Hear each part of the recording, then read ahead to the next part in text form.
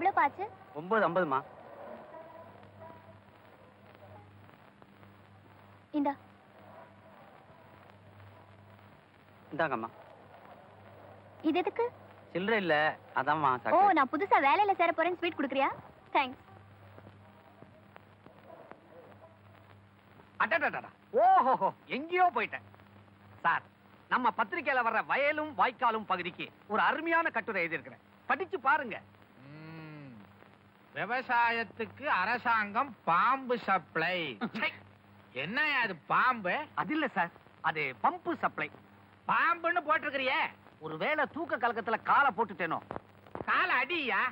நீங்களே அடிச்சிருங்க. ஆமா எல்லாத்தையும் நானே செய்யணும். எக்ஸ்கியூஸ் மீ ஆ வா வாம்மா. ஆஹா. வாங்க வாங்க வாங்க வாங்க வாங்க வாங்க. வா வாம்மா. உட்காரு. ஒன் மொமெண்ட் உட்காருங்க. எங்க பத்திரிக்கையில ரிப்போர்ட்டர் வேலைக்கு அப்ளிகேஷன் போட்டிருந்த சுஜாதாங்கிற பொண்ணு நீதானா? என்னங்க நீங்க? சுஜாதான்னு பேர் வச்சிருந்தா பொண்ணுதான். ஆம்பளையாவா இருக்க முடியும். அறிவு கட்டவன பொம்பளைங்க பேரால எத்தனை பேர் கதை கட்டுறேன்னு எழுதுறானுங்க. அதனால சுஜாதாங்கிற பேரால ஒரு சுப்பிரமணியம் வந்து நிப்பான்னு பார்த்தேன். ஒரு பொண்ணே வந்து நிக்குது. இத படிங்க. ஆ பார்த்தேன். அடாடா பத்திரிக்கை துறையில எம்ஏ டிகிரி வாங்கியிருக்கியா? உன்ன மாதிரி புத்திசாலி இந்த ஆபீஸ்லயே கிடையாது. ஏன் சார் புதுசா வந்த பொண்ணு எதிரில உங்க வீக்னஸ் எல்லாம் சொல்றீங்க? எனக்கு ஏன் வீக்னஸ் ஓ வீக்னஸ் சொன்னையா அப்ப நான் புத்தாலி இல்லைங்கிறீங்களா? நான் இந்த ஆபீஸ்ல வேலைக்கு சேர்ந்த அப்புறம் தான் டெய்லி அஞ்சு லட்சம் காப்பி விக்குது. அறிவு கட்டவனே நீ வர்றதுக்கு முன்னால ஆறு லட்சம் காப்பி வித்தது. நீ வந்ததுக்கு பிற்பாடு ஒரு லட்சம் பத்திரிக்கையை தின்னுட்ட கழுத. இதையே நீங்க முன்னாலேயே சொல்லல. நான் ஏன் சொல்றேன்? ஏஜென்ட் எல்லாம் அட்வான்ஸ திருப்பி அனுப்புன்னு சொல்றானுங்க. அதை விட. ஆமா நீ எப்ப வேலைக்கு சேர போற? நீங்க சொன்னா இன்னைக்கே சேர்ந்துடுறேன் சார். சேர்ந்துடு சேர்ந்துடு. ஆ காலமேகம். சார். பாப்பாவை அழைச்சுக்கிட்டு போய். என்ன ஆச்சு உனக்கு? ஆ ஆசிரியர் குழுல அறிமுகப்படுத்து. போயிட்டு வாம்மா. தேங்க்யூ சார் வாம்மா.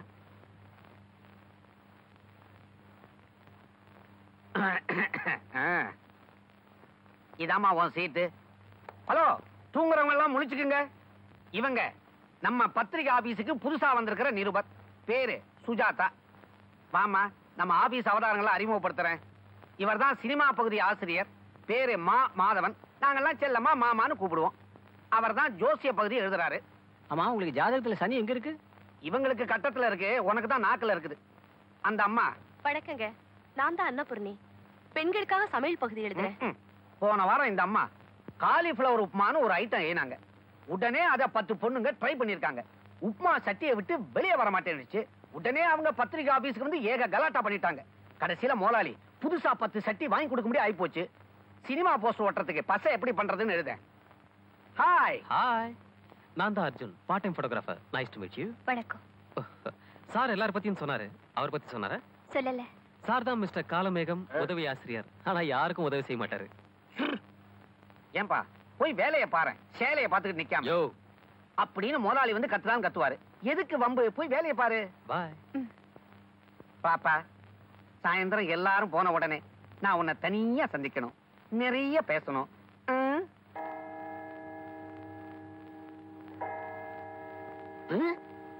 ஆபீஸ் முடிஞ்சா நேரா வீட்டுக்கு போக வேண்டியதானே அங்க என்ன நச்சு நச்சு நச்சுன்னு பேச்சு? தள்ளுப்பா அப்படி சும்மா இருங்க சார். மிஸ் சுஜாதா எங்க தங்கிருக்கீங்க அட்ரஸ் நான் கேட்டுக்கிறேன். நீ போப்பா. பாய் சார் நம்ம ஆபீஸ்ல இருக்கிற ஓல்டு ஸ்டாக்ஸ் எல்லாம் வெளியே போட்டுறாங்களே. ஆமா. உங்களை ஏன் போடல? கொழுப்பா? நேரம் வட்டம். கவனிக்கிறேன். பாய். இம்ச. அவன் கிடக்குறான் சின்ன பையன். ஏமா அப்பாயின்மெண்ட் கிடைச்சு போச்சு. நீ தனியா எங்க தங்க போற? எங்க ஃபேமிலி ஃப்ரெண்ட் டாக்டர் சாரதாவோட வீட்ல. ஐயோ டாக்டர்னா அடிக்கடி வெளியூருக்கெல்லாம் மாத்துவாங்களே. மாத்த மாட்டாங்க சார் இவங்க கவர்மெண்ட் டாக்டர் இல்ல பிரைவேட் டாக்டர் சொந்தமா கிளினிக் வச்சிருக்காங்க. இருந்தாலும் வீடுனா புருஷன் குழந்தைன்னு ஒரே நெரிசலா இருக்குமேம்மா. இல்ல சார் அவங்களுக்கு குழந்தையே இல்ல. ஐயோ பாவம். அவங்க ஹஸ்பண்ட் அமெரிக்கால எம்பிஏ படிச்சிட்டு இருக்காரு சோ அந்த வீடு எனக்கு ரொம்ப சௌகரியமா இருக்கு. வெரி குட் எதுக்கு கேட்டேன்னா நீ சின்ன பொண்ணு சேஃப்டியா இருக்கணும் பாரு. இந்த பாரு அங்க ஏதாவது இடைஞ்சல்னா நேரா என் வீட்டுக்கு வந்துரு. வாயேன் கேன்டீனுக்கு போய் டிஃபன் சாப்பிடுவோம். தேங்க்யூ சார் சாரதா எனக்காக வெயிட் பண்ணிட்டு இருப்பா வரேன். சாரதா! சுஜாதா எப்படியோ உனக்கு பிடிச்ச ரிப்போர்ட்டர் வேலையில சேர்ந்துட்டேன். இனிமே தான் நீ ஜாக்கிரதையா இருக்கணும். காலையில பத்து மணிக்கு போய் சாயந்தரம் அஞ்சு மணிக்கு திரும்பி வர வேலை இல்லைம்மா இது ரொம்ப ரிஸ்கான வேலை. அதுக்காக ராத்திரி நேரத்துல தனியா எங்கேயாவது போய் மாட்டிக்காதே. சரிங்க பாட்டி. நீங்க சொல்றபடியே நடக்கிறேன். மீட்டிங் ஆரம்பிக்கலாமா? எல்லாரும் வந்தாச்சா? இப்ப என்ன அட்டெண்டன்ஸ் எடுக்க போறீங்க? சார் புயல் அடிச்சப்போ நான் எடுத்த போட்டோஸ்க்கெல்லாம் நம்ம பத்திரிக்கையில நல்ல ரைட்டப்ஸ் வந்திருக்கு. யார் சார் எழுதுனது? நம்ம சுஜாதா தான். மிஸ் சுஜாதா என் வாழ்த்துக்கள். புயல் வேகத்தோட உங்க எழுத்து வேகம் ரொம்ப அதிகமா இருக்கு. ஜனங்கெல்லாம் அப்படியே உருகிட்டாங்க. யோ பாத்து நீ உருகிட போற. தள்ளி உட்கார. ஆசிரியர் ஏதோ பேசணும்னு துடிச்சுக்கிட்டு இருக்காரு. விட்டா தூங்கி விடுவாரு நீங்க பேசுங்க. பேசவா? இதுக்கு முன்னால நான் பேசினது இல்லையா? ஊமையாவா இருந்தேன் வேற என்ன? நம்ம பத்திரிக்கை இன்னும் அமோகமா விற்பனை ஆகிறதுக்கு லேட்டஸ்ட் மிஷின் எல்லாம் வரவழைச்சிருக்கேன். மிஷின் இருந்தா மாத்திரம் போதாது. அதுல வர்ற செய்திகளும் சிறப்பா இருக்கணும். அதுக்கு உங்க எல்லாருடைய ஒத்துழைப்பும் தேவை.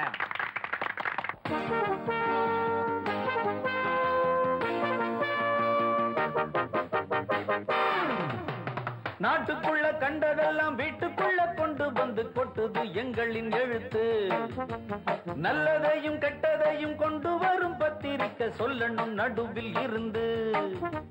சினிமாவா அரசியலா ஆபீஸா அடுக்களையா அத்தனையும் தொட்டு வரும் பாரு எங்களது பத்திரிக்கை.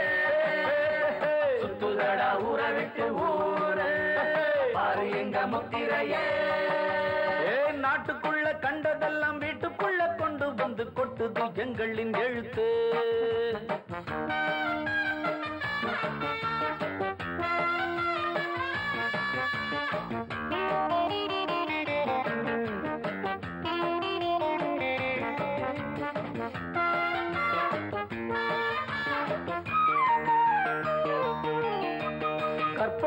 கத்திரத்தம் நாட்டுக்குள்ளே உண்டு. அத்தனையும் தேடிக்கிட்டு கொண்டு வரும் இங்கு. ஊருக்கெல்லாம் புத்தி சொல்லும் தத்துவமும் உண்டு. செரிச்சனம் ஆவலுக்கும் செய்தி இதில் உண்டு.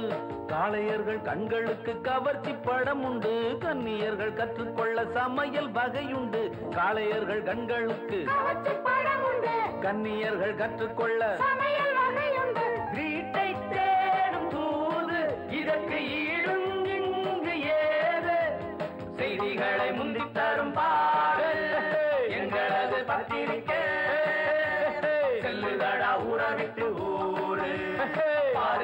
முத்திரையே.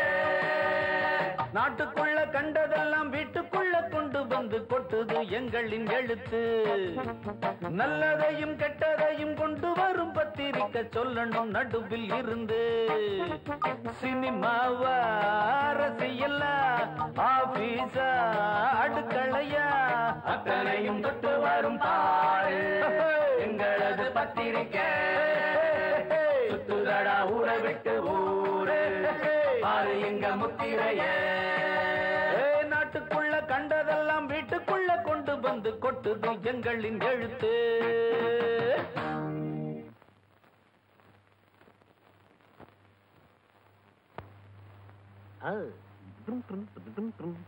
சுஜாதா நீ இந்த பத்திரிகை ஆபீஸ்ல சேர்ந்த அப்புறம் என்கிட்ட ஒரு பெரிய சேஞ்ச பாத்தியா? எவ்வளவு ட்ரிம்மா இருக்கிறேன்னு. ஆமா என்ன நியூஸ் எழுதிக்கிட்டு இருக்க? கோதுமை வாங்க மத்திய மந்திரி அமெரிக்கா பயணம். அவ்வளவு தூரம் போவானே. என்கிட்ட ஒரு வார்த்தை சொல்லியிருந்தா நானே ரேஷன் கடையில வாங்கி கொடுத்திருப்பேன். சொல்ல மறந்துட்டேனே. எடிட்டர் உன்னை அர்ஜென்ட்டா பார்க்கணுமா? கையோட கூட்டிட்டு வர சொன்னார். வா வா.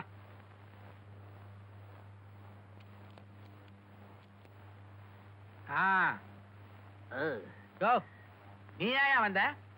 பாப்பா தனியா உங்க ரூமுக்குள்ள வர பயந்துச்சு.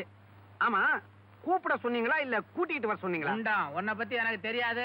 மரியாதையா போய் லெட்டர் எழுது போ. ஏய், சீ போ. சுஜாதா நம்ம பத்திரிக்கை இன்னும் ஓஹோன்னு போறதுக்கு ஒரு அருமையான ஐடியா புடிச்சிருக்கேன். சொல்லுங்க சார் நான் சொல்ற விஷயத்த நல்லா அனலைஸ் பண்ணி விறுவிறுப்பா ஒரு தொடர் கட்டுரை எழுதுனீன்னா அருண் ஷோரி பிரிட்டிஷ் நந்தி மாதிரி மக்கள்கிட்ட உனக்கு பெரிய பேர் கிடைக்கும். சொல்லுங்க சார். ரவி வர்மாங்கிறவன் அவன் மனைவி கலாவை கொலை பண்ண குற்றத்துக்காக வர்ற இருபத்தி ஏழாம் தேதி அவனை தூக்குல போட போறாங்க. அவன் சார்பா ஜனாதிபதிக்கு கருணமனு போட்டும் நிராகரிச்சிட்டார். இந்த நியூஸ் நாளைக்கு எல்லா பத்திரிகையிலையும் வரப்போகுது. இது உப்பு சப்பு இல்லாத விஷயம்தான். இதையே உணர்ச்சிகரமா பரபரப்பா எழுத வேண்டியது உன் பொறுப்பு. அவனை தூக்குல போட இன்னும் பதினோரு நாள் தான் இருக்கு. அதுக்குள்ள நம்ம பத்திரிக்கைக்கு அவனை பேட்டி எடுக்கணும். அதனால நாளைக்கே நீ ஜெயிலுக்கு போய் அந்த கொலகாரனை சந்திக்கிற. கொலகாரனாச்சேன்னு பயப்படுறியா? அப்படியெல்லாம் ஒண்ணும் இல்ல சார். தைரியமா போ. துணைக்கு நம்ம போட்டோகிராஃபர் பாஸ்கர் இல்ல அவரை அழைச்சுக்கிட்டு போ. Okay sir. நம்ம சுஜாதாவுக்கு கிரேடு ஒசருது. ஏன்னா மரண தண்டனை கைதியை பேட்டி காண போறாங்களே. நானும் உங்க கூட வரலாம் தான் நினைச்சேன். ஆனா என்ன கிரிக்கெட் மேட்ச் கவர் பண்ண சொல்லிட்டாங்க. பைது பை அந்த ரவிவர்மாவை பேட்டி காண போறீங்களே? ஜாக்கிரதை. அவன் பொண்டாட்டியே கொலை பண்ணவன். அந்த கலா ரொம்ப அழகா இருப்பாங்களா சார்? மாடலன்னு அழகா தானே இருப்பா. கொஞ்சம் எல்லாருக்கிட்டையும் ஃப்ரீயா இருந்திருப்பா. அதான் கோளாறு. அந்த கலா யார்கிட்ட ஓவரா பழகிருப்பா ஆத்திரத்துல ரவிவர்மா கொலை பண்ணிருப்பான் இதுல தப்பு இல்லையே. ஷட் அப் என்ன தப்பு இல்ல நீங்களும் நேர்ல பாத்தீங்களா?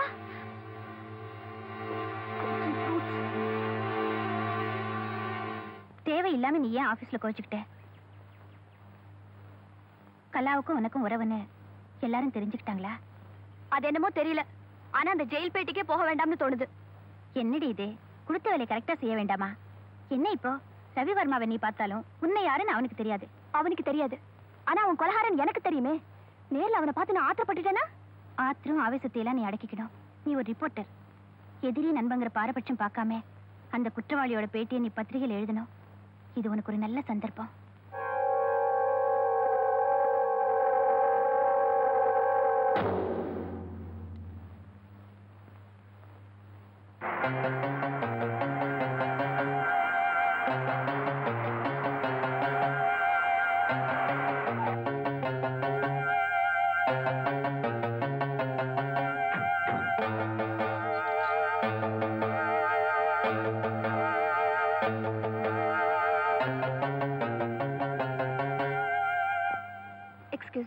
Yes come in please take your seat thank you நீங்க தான் இந்த ப்ரெஸ் ரிப்போர்ட்டரா ஆமா sir very good very good இந்த சின்ன வயசுல இவ்வளவு பொறுப்பான வேலையில இருக்கிறது ஆச்சரியமா தான் இருக்கு. ஏன் சார் அப்படி கேக்குறீங்க? ஏன்னா இதுல நேர்மையை எழுத முடியாது. அப்படி எழுதுனா எதிரிகளை தான் சம்பாதிக்கணும். பேனாவை மையில துவைக்காம பொய்யில தான் துவைக்கணும். ஓகே உங்களுக்கு என்ன சர்வீஸ் ஆச்சு? சிக்ஸ் மந்த்ஸ் வெரி குட் ஆமா ஜெயில்ல ஏன் காலியா இருக்கு? ஏன்? இங்க எங்கேயாவது போர்டு பாத்தீங்களா டூலெட்னு கைதி எல்லாம் இங்க இருக்கிற ஃபேக்டரியில வேலை பார்த்துட்டு இருக்காங்க. ஆனா ஒரு விஷயம் இங்க no union no strike by the by நீங்க வந்தது கைதி ரவிவர்மா பார்க்கத்தானே? ஆமா சார் கம்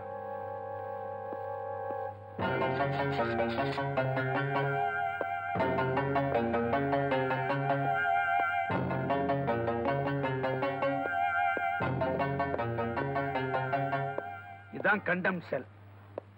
தூக்கு தண்டனை கைதிகளுக்காக தனித்தனி சிறை. இப்ப அஞ்சு பேர் சாவை எதிர்பார்த்து காத்துக்கிட்டு இருக்காங்க. வாங்க. இதுதான் கேலோஸ் தூக்கு போடுற இடம். என்ன சார்? தூக்கு கயிறு காணோம்? கிணத்து கயிறு மாதிரி பெருமெண்டா தொங்க விட முடியாது. கைதிகளோட வெயிட்ட பார்ப்போம். அதுக்கு தகுந்த மாதிரி கயிறை தயார் பண்ணுவோம். இந்த இருக்கு பாத்தீங்களா பலகை. இதுல தான் கைதியை நிக்க வைப்போம். முகத்துல கருப்பு துணியை போட்டு சுருக்கு கயிறை கழுத்துல மாட்டிடுவோம். அப்புறம் இந்த இருக்கு பாத்தீங்களா லீவர் இந்த லீவர் அந்த பக்கமா தட்டி விட்டா இந்த பலகை விலகிடும். கைதி இறந்து போயிடுவான். ரொம்ப வருஷமா இதுக்கு வேலை இல்லாம முடி வச்சிருந்தோம். வர்ற இருபத்தேழாம் தேதி மறுபடியும் இதுக்கு திறப்பு விழா. அன்னைக்கு நாங்க தூக்குல போட போற கைதி யார் தெரியுமா? நீங்க பார்க்க வந்திருக்கீங்களே. அந்த ரவிவர்மா தான். இந்த ரவிவர்மா ராஜ குடும்பத்தை சேர்ந்தவன். பரிதாபம் என்னன்னா இதுவரைக்கும் அவன் குடும்பத்தை சேர்ந்தவங்களோ நண்பர்களோ இவனை வந்து பார்க்கவே இல்லை. சண்முகம்? அந்த ரவிவர்மாவை தகுந்த காவலோட அழைச்சிட்டு வாங்க. பத்திரிகைக்காரன் சொல்ல வேண்டாம். யாரோ சொந்தக்காரங்க வந்திருக்கா சொல்லுங்க போங்க. ஓகே. நீங்க விசிட்டர்ஸ் ரூம்ல வெயிட் பண்ணுங்க. கைதி அங்க வருவான். Okay sir by the by miss Sujatha ஒரு ரிக்வெஸ்ட் சொல்லுங்க sir not only request it's an order Ravivarma உடம்புல சில காயங்கள் இருக்கும். அதை நீங்க பத்திரிகையில் எழுத வேண்டாம். எப்படி காயப்பட்டது சார் ஆரம்பிச்சிட்டீங்களா? உங்க நிருபர் வேலையை. பத்திரிக்கைக்காக கேட்கல சார் நான் தெரிஞ்சுக்க கேட்டேன். அவன் ரெண்டு மூணு தடவை ஜெயில இருந்து தப்பிக்க முயற்சி பண்ணா அதனால கொஞ்சம் தட்டி வச்சிருக்கோம். பொதுவா மரண தண்டனை கைதியில் அடிக்க கூடாதுன்னு உத்தரவு. ஆனா நாங்க ஏசுநாதரம் நடந்துகிட்டா கைதி எல்லாம் எங்க தலையிலேயே ஆணி அடிச்சிருவாங்க. அதனால கொஞ்சம் தட்டுவோம் அதுக்கு மருந்தும் கொடுப்போம். ஆ, நீங்களும் வெயிட் பண்ணுங்க. ஓகே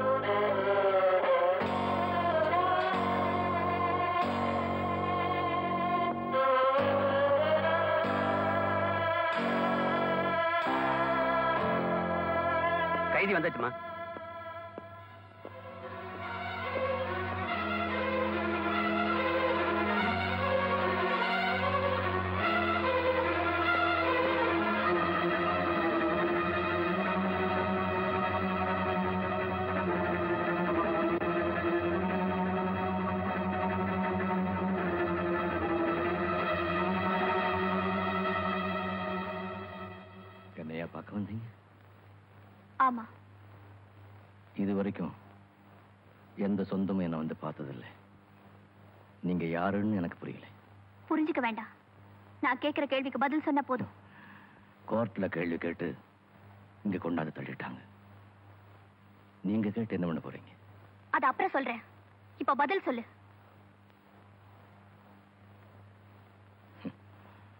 பத்திரிக்கைக்காரங்களா? உங்களுக்கு பதில் சொல்ல நான் தயாரா இல்லை.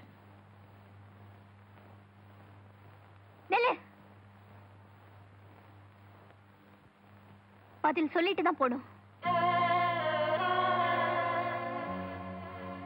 கொன்ன. அவன் உனக்கு என்ன துரோகம் பண்ணா?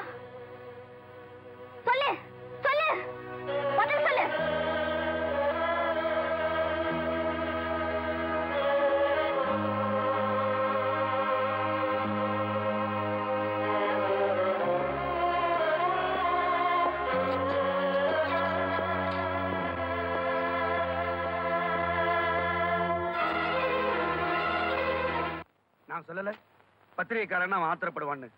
நீங்க வேற கொலை செய்யப்பட்ட பொண்ணுக்காக அவங்ககிட்ட ஆவேசப்பட்டிருக்கீங்க. அதனாலதான் உங்களுக்கு எந்த விதமான விவரமும் கிடைக்கல. ஒண்ணு செய்யுங்க. வாடுற கிட்ட அவனை பத்தி விவரம் எல்லாம் கேட்டு அதை வச்சு ஒரு ரைட்டை எழுதுங்களேன்.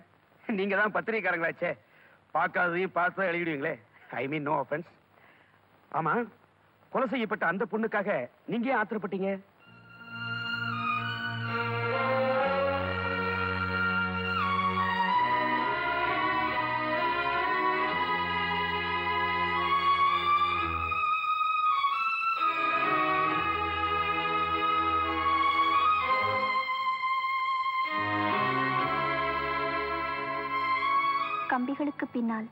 கைதி ரவிவர்மாவின் உண்மை கதை இந்த சோக கதையின் நாயகி கலா ஒரு ஏழை குடும்பத்தில் பிறந்தாலும் படித்தவள் அழகானவள்.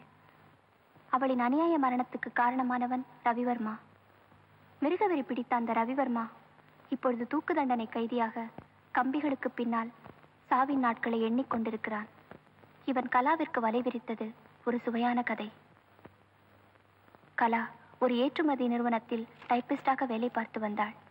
ஒரு கலாச்சார விழாவில் நடந்த நாட்டிய நிகழ்ச்சியில் கலா நடனமாடினாள் அந்த விழாவில் அஜந்தா விளம்பர நிறுவனத்தின் அதிபரான ரவிவர்மா கலந்து கொள்ள வந்திருந்தான்.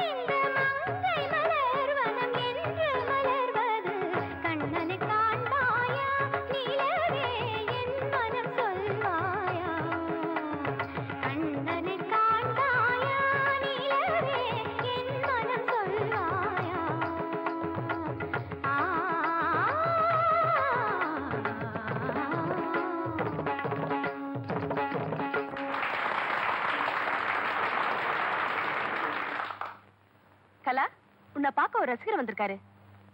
வணக்கம். வணக்கம். நீங்க பேசிட்டுங்க நான் வரேன். என் பேர் ரவிவர்மா. கம்பெனி வச்சிருக்கேன். உங்க நாட்டியம் ரொம்ப பிரமாதம். பிற்காலத்துல இப்படி பெரிய நாட்டியத்தாலையா வருவீங்கன்னு தெரிஞ்சுதானோ என்னமோ? உங்க அப்பா அம்மா உங்களுக்கு கலான்னு பேர் வச்சிருக்காங்க. ஓ simply marvellous performance thanks miss Kala நான் ரசிச்சது உங்க நாட்டியத்தை மட்டும் இல்ல. உங்க ஸ்கெட்சையும் தான். நீங்க என் கம்பெனிக்கு மாடலா வரலாமே. சாரி எனக்கு மாடலிங் பண்றதுக்கு இஷ்டம் இல்ல. மாடலிங் தொழிலை பத்தி நீங்க தப்பா நினைச்சிட்டு இருக்கீங்க. இது ஒரு கலை தான் இது மூலமாவும் உங்க புகழ் ஊர் பூராவும் பரவும். இந்த நாட்டிய நிகழ்ச்சி நடத்துறதே ஒரு பொழுதுபோக்குக்கு தான் அத பொதுவாக்க நான் விரும்பல. ஓகே. எனக்கு பிடித்தமான எந்த விஷயத்தையும் நான் அவ்வளவு சீக்கிரத்துல மறக்கிறது இல்ல மாடலிங் செய்யறத பத்தி யோசனை வைங்க. ஒரு வாரம் கழிச்சு உங்களை வந்து சந்திக்கிறேன். See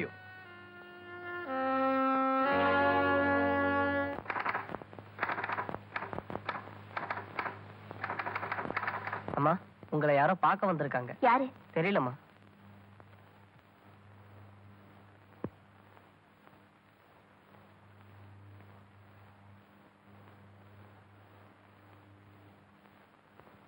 ஹலோ மிஸ் கலா.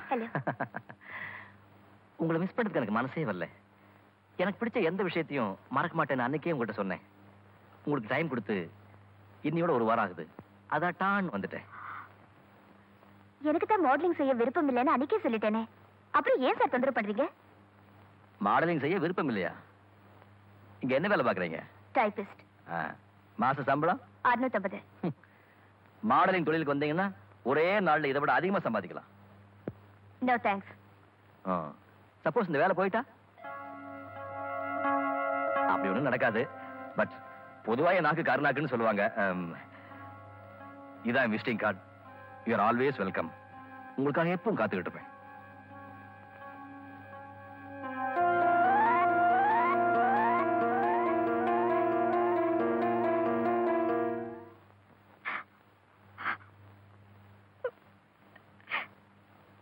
ஏண்டி அழற?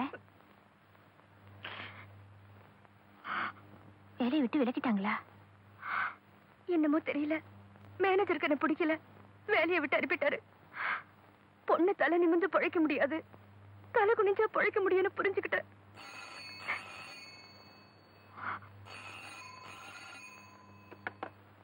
ஹலோ ஆ இருக்கா. ஒன் மினிட் கலா உனக்கு தான்.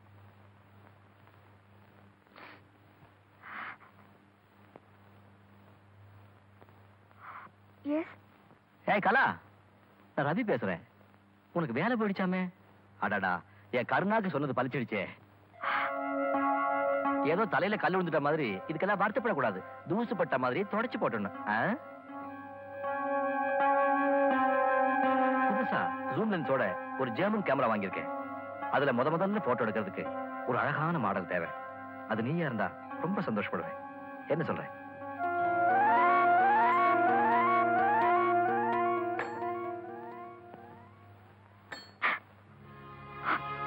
என்னடி இன்னும் அழற? ஊருக்கு போயிடுறேன் சாரதா என்னாச்சு உனக்கு?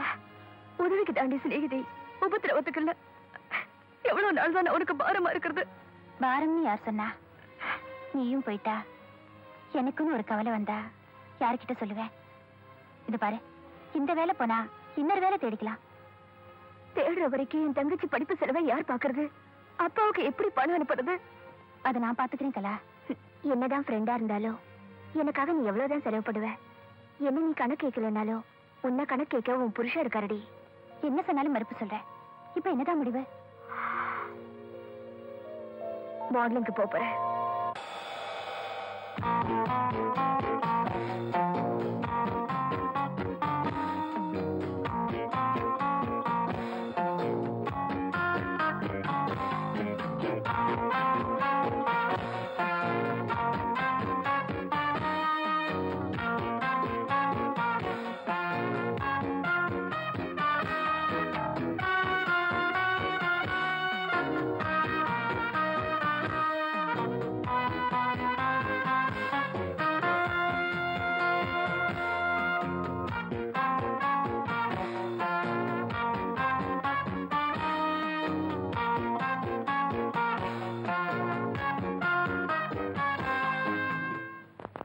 நம்ம சுகந்தா சோப்புக்கு இந்த மாதிரி ஒரு விளம்பரம் அமையும்னு நான் நினைக்கவே இல்லை.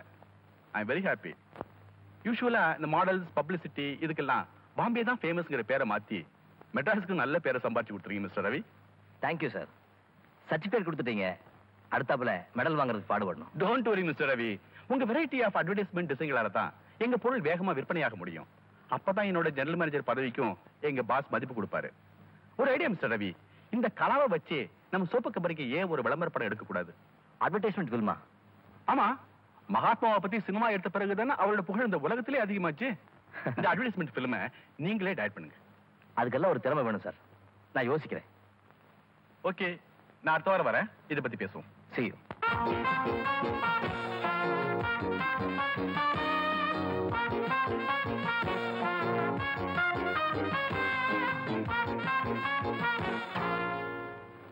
மிஸ்டர் ரவி உங்க தொழில் முன்னேற்றத்தை பார்த்து ரொம்ப பேருக்கு பொறாம. பொறாம வந்தா போட்டி ஆரம்பிக்கும். வியாபாரத்துக்கு அது நல்லது தானே சார்? நல்லதுதான். பட் உங்க கால வாரத்துக்கு மத்த கம்பெனிக்காரங்க பிளான் பண்ணலாம் இல்லையா? இது கால வர்றதா என்னை விட திறமையான ஒரு லே அவுட் டிசைனர் கொண்டு வந்தா ஒருவேளை நான் ஜெயிக்கலாம். உங்க திறமைக்கு காரணமான மாடலையே ஐ மீன் கலாவையே அவங்க விலைக்கு வாங்கிட்டா? அவ உங்ககிட்ட தான் வேலை செய்யணும் வேற எங்கேயும் வேலை செய்யக்கூடாது அப்படிங்கிறதுக்காக அவகிட்ட ஏதாவது கான்டாக்ட் போட்டிருக்கீங்களா? இல்ல அவளுக்கும் உங்களுக்கும் ஏதாவது சொந்தம் ஸ்நேகம் I mean any sentimental bondage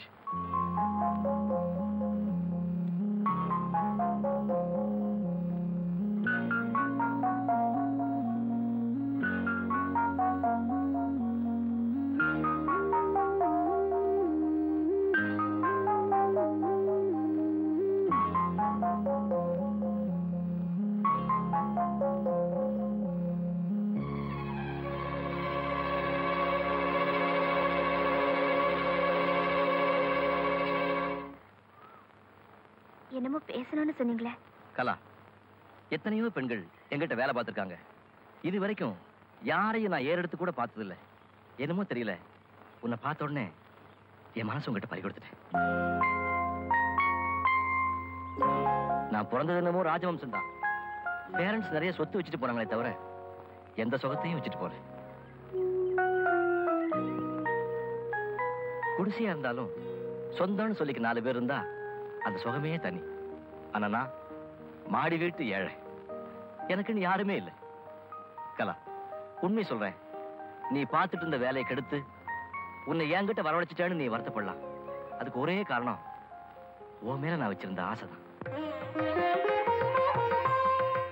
நீ மட்டும் எனக்கு வாழ்க்கை துணையா கிடைச்சுன்னா என்ன மாதிரி அதிர்ஷ்டசாலி இந்த உலகத்துல யாருமே இருக்க முடியாது.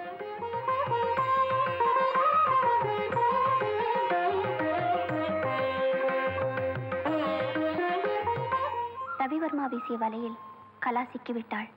குடும்ப ஏழ்மை தன் எதிர்காலம் இரண்டையும் நினைத்து பார்த்து ரவிவர்மாவிடம் தன் சம்மதத்தை தெரிவித்தாள். திருமண விஷயமாக பேச தன் தங்கையை வரும்படி கடிதம் எழுதினாள். அன்புள்ள தங்கை சுஜாதாவிற்கு இங்கு ரவிவர்மா என்பவரிடம் ஏற்பட்ட சிநேகம் காதலாக மலர்ந்திருக்கிறது. அவர் என்னை திருமணம் செய்து கொள்ள விரும்புவது கடவுள் எனக்கு அடித்த வரமாகவே நினைக்கிறேன். எனது திருமண விஷயமாக உன்னிடம் நேரில் பேச வேண்டியுள்ளது. உடனே வரவும். அன்புடன் கலா.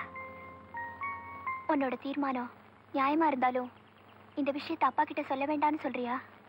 சொல்லணும். ஆனா அப்பா இதுக்கு ஒத்துக்குவார்னு என்ன நிச்சயம்? அவரை பத்தி தான் உனக்கு தெரியுமே. சாஸ்திரம் சம்பிரதாயம் கட்டுப்பாடுன்னு பாக்குறவரு. அவர் இந்த கல்யாணத்துக்கு சம்மதிக்காம போனா? ரவி மாதிரி ஒரு நல்லவர் எனக்கு கிடைச்சது. ஏன் அதிர்ஷ்டம் நினைக்கிறேன் அவரே இழக்கிறதுக்கு என் மனசு இடம் கொடுக்கல. இது அப்பாவுக்கு தெரிஞ்சா அவர் கோவப்பட மாட்டாரா? கல்யாணம் பண்ணிக்கிட்டு புருஷனோட வீட்டுக்கு வந்தா தானே கோவப்படுவாரு. ஒரு புள்ளையோட வந்தா பேரனை பார்த்த சந்தோஷத்துல எதுவுமே சொல்ல மாட்டாரு. அப்போ குழந்தை பொறுக்கிற வரைக்கும் வீட்டுக்கு வரமாட்டியா? இதுக்கு ஏண்டி அழற? இந்த விஷயத்தை உன்கிட்ட கூட சொல்ல வேண்டாம் தான் நினைச்சேன். ஆனா என் மனசு இடம் கொடுக்கல. வரட்டுமா?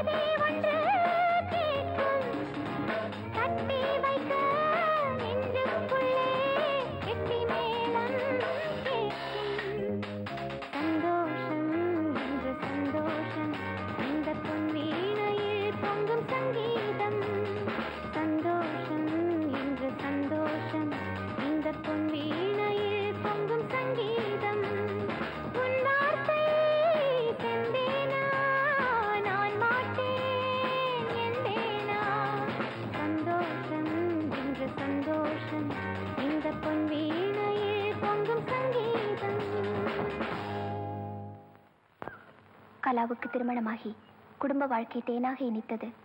ரவிவர்மா தன்னை தெய்வமாக சன்னிதானத்தில் வைத்து விட்டான் என்றே அவள் நம்பினாள். ஆனால் அவனின் சுயரூபம் சில நாளில் தெரிய வந்தது.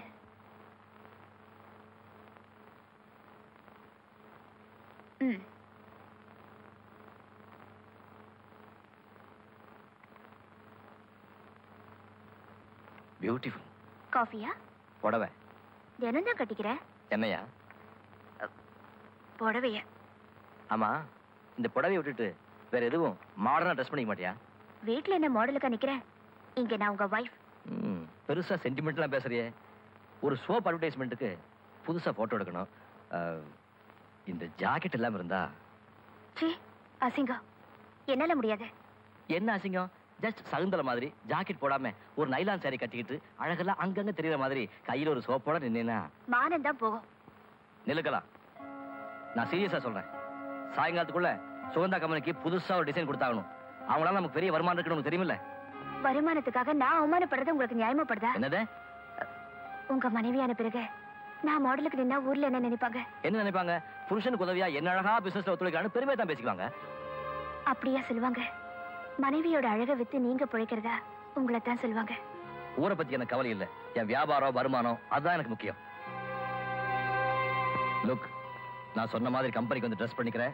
ஸ்டில்லுக்கு போஸ்ட் கொடுக்குறேன். நோ மோர் ஆர்குமெண்ட்ஸ் கடவுள் படங்களையே கவர்ச்சியா கேலண்டர்ல போடுறாங்க. ஆஃப்டர் ஆல் நீ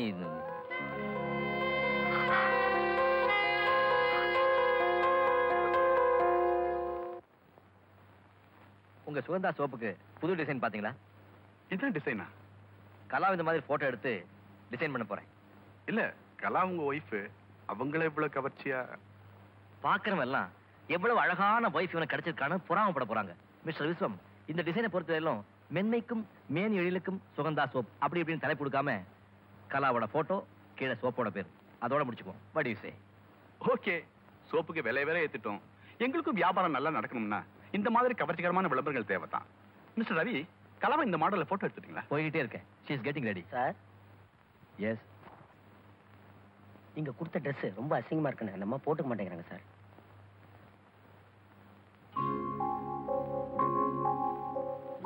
கலா என்ன ட்ரெஸ் சேஞ்ச் பண்ணலையா? என்ன விளையாடுறியா கழுத்துல தாலி உடனே பெரிய சத்தியவான் சாவித்திரி நினைப்பா? உன் புருஷன் சொல்றேன். போய் ட்ரெஸ் பண்ணிட்டு வா. வேண்டாங்க நாலு பேர் பார்த்தா கேவலமா பேசுவாங்க. எது? கேவலமா? இதுதான் வேலைன்னு தெரிஞ்சுதானே வந்து சேர்ந்தேன். அப்ப கேவலமா தெரியலையா? மாசா மாசம் பணம் வாங்கி வீட்டுக்கு அனுப்புறியே அப்ப கேவலமா தெரியலையா? கடைசியா சொல்றேன். ஒழுங்கா போய் ட்ரெஸ் சேஞ்ச் பண்ணிட்டு வா. இல்ல உயிரோட இருக்க மாட்டேன். ரவி வாங்க. வாங்க ப்ளீஸ் சொன்னா கேளுங்க.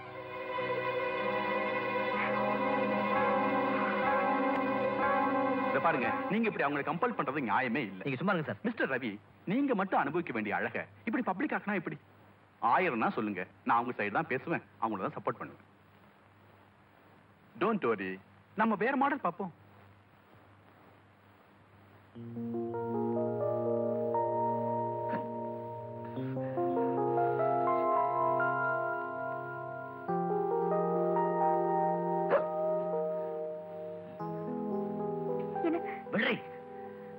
மாடர்ன் ட்ரெஸ் போட மாட்டியா?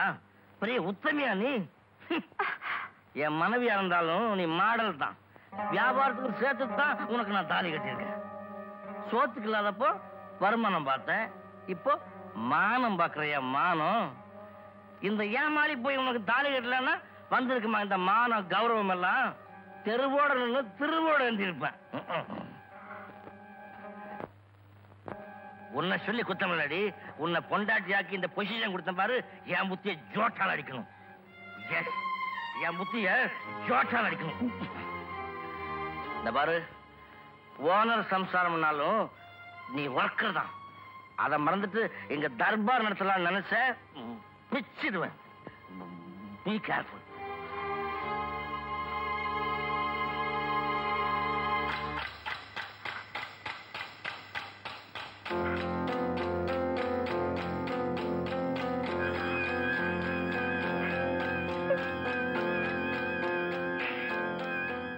சொர்க்கமாக இருந்த வீடு கலாவுக்கு நரகமாகியது. ரவிவர்மா வீட்டுக்கு வருவதே இல்லை. நான்கு சுவர்களுக்குள் தனிமையில் வேதனையோடு நாட்களை கழித்த கலா தான் தாய்மை அடைந்திருப்பதை அறிந்து மகிழ்ந்தாள்.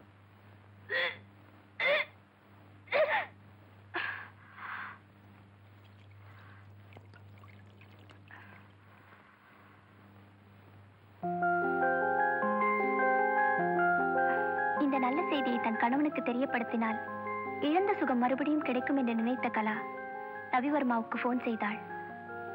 அவனின் வரவுக்காக காத்திருந்தாள். கலா? கங்க்ராச்சுலேஷன்ஸ் பொண்டாட்டி நினைப்பே இல்ல. புள்ள உண்டாயிருக்கணும் உடனே வந்துட்டீங்கல்ல? நான் வரணுங்கிறதுக்காக தான் போன்ல போய் சொன்னியா? இல்ல நிஜமாவே கர்ப்பமா? இதுக்கு போய் போய் சொல்வாங்களா? சோ ஒரு புள்ள இந்த வீட்ல துள்ளி விளையாட போறான். நீ அம்மாவா ஜாலியா அவனை தூக்கிட்டு சுத்த போற. வெரி குட் என் சொத்துக்கெல்லாம் ஒரு வாரிசு உருவாயிட்டான். Am I. I am so happy என் வாழ்க்கையிலேயே இது ஒரு இனிமையான நாள். இந்த நல்ல நாளை சாகர வரைக்கும் நான் மறக்கவே மாட்டேன். இந்த மாதிரி நீங்க என்கிட்ட சிரிச்சு பேசி எத்தனை நாள் ஆச்சு அப்பா ஆன உடனே எவ்வளவு சந்தோஷப்படுறீங்க பாத்தீங்களா? டெஃபினெட்லி ஆமா கலா. இந்த குழந்தைக்கு அப்பா யாரு? என்ன கேட்டீங்க? புரியலையா? உன் வயித்துல வளருதே ஒரு அரும்பு. அதுக்கு வித விதைச்சவன் யாருன்னு கேட்டேன். அப்பாட்டமா பேசாதீங்க ரவி. அர்த்தத்தோட தாண்டி பேசுறேன். இந்த ஆக்டிங் அழகு எல்லாம் என்கிட்ட வச்சுக்காத. கொஞ்ச நாளா உனக்கு எனக்கு தொடரவே இல்ல. திடீர்னு இப்ப கர்ப்பம்னு சொல்லையே எப்படி? சும்மா சொல்லு. தாலி கட்டுனதுக்காக உங்களை அப்பாவா டிக்ளேர் பண்ணிக்கிறேன். ஆனா உண்மையான தகப்பம் வேற ஆளுன்னு தைரியமா சொல்லு. விளையாட்டா பேசாதீங்க ரவி. நீ விளையாடிட்டு என்ன விளையாடுறேன்னு சொல்றியா? ரவி ஏன் இப்படி பயங்கரமா கற்பனை பண்ணி பேசுறீங்க? போட்டோ எடுக்க உங்க முன்னாடியே உடம்ப காட்ட மறுத்தா யாருக்கும் என் உடம்ப கொடுத்துருவேனா? ஊர் பூரா தண்ணி பஞ்சு வந்தாலும் உங்க கண்ணுல மட்டும் கண்ணீர் வத்தாதடி. இத பாரு ஏதோ பேருக்கு புருஷ முன்னாட்டியா கொஞ்ச நாள் இருந்துட்டோம். இந்த அசிங்கமான கதை நாலு பேருக்கு தெரியறதுக்குள்ள கௌரவமா புரிஞ்சிடுவோம். நஷ்ட எடு. என்ன கேக்குறேன் ரவி! சத்தம் போடாத.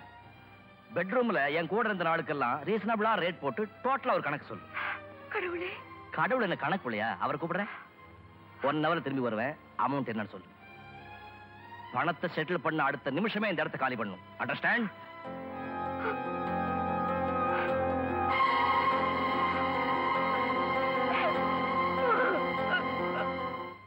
ஒரு பெண்ணை சந்தேகப்பட்டு விட்டால் அது அவளுக்கு சித்திரவதை. கொலைக்கானோடு கூட வாழ்க்கை நடத்தி விடலாம். சந்தேகக்கானோடு வாழ்க்கை நடத்த முடியாது. கலா ரவிவர்மாவின் சித்திரவதை தாங்க முடியாமல் தவித்தாள். மனம் வேதனையடைந்த கலா ரவிவர்மாவின் கொடூரம் தாங்க முடியாமல் அவள் சிநேகிதி வீட்டில் போய் தங்கிக் கொண்டாள். என்றைக்காவது ஒரு நாள் அந்த ரவிவர்மா மனம் திருந்தி தன்னிடம் திரும்பி வருவான் என்று அவள் காத்திருந்தாள். ஆனால் ரவிவர்மாவோ கலா மீது விவாகரத்து வழக்கு தொடர்ந்தான். கலாவின் நடத்தையில் சந்தேகப்பட்டு விவாகரத்து கோரி ரவிவர்மா தொடுத்திருக்கும் இந்த வழக்கில் கலா குற்றவாளி என்பதை ஆதாரத்துடன் ரவிவர்மா நிரூபிக்காததாலும் தாய்மை அடைந்திருக்கும் அவள் மீது சொல்லப்படும் இந்த குற்றம் ஒரு பழி சுமத்தும் செயலாகவே இருப்பதாலும் கலா நிரபராது என்பது ஊர்ஜிதமாகிறது. ஆனால் சந்தேகப்படும் ரவிவர்மாவோடு இனியும் கலா சேர்ந்து வாழ்வது அவளுக்கும் பிறக்கப் போகும் அவள் குழந்தைக்கும் பாதுகாப்பாக இருக்காது என்பதால் அவர்களின் நன்மையை கருதி ரவியிடமிருந்து கலா பிரிந்து வாட விவாகரத்து வழங்குகிறேன்.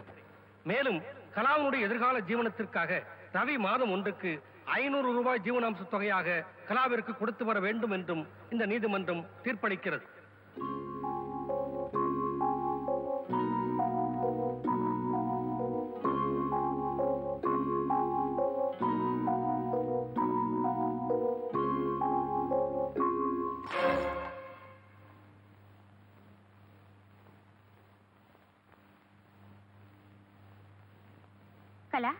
இன்னும் நீ சாப்பிடல? கர்ப்பமா இருக்கிற பொண்ணு இப்படி சாப்பிடாம இருக்கிறது உடம்புக்கு நல்லதில்ல. போய் சாப்பிடு. எனக்கு சாப்பிட பிடிக்கல. கலா எதை பத்தியும் கவலைப்படாத.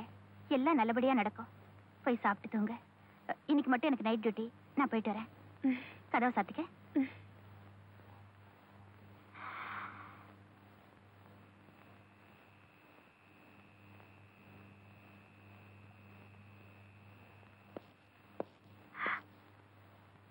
நீங்களா? வாங்க ரவி. என்ன நீ எதிர்பார்க்கல ஏன் அப்படி சொல்றீங்க? எப்போ உங்களை எதிர்பார்த்துட்டு தான் இருக்கேன். என்னையா? என் ஜீவனாம்ச பணத்தையா? ரவி. மாசா மாசம் கொடுக்கறத விட ஒரேடியா கணக்கு தீர்த்தலான்னு வந்திருக்கேன்.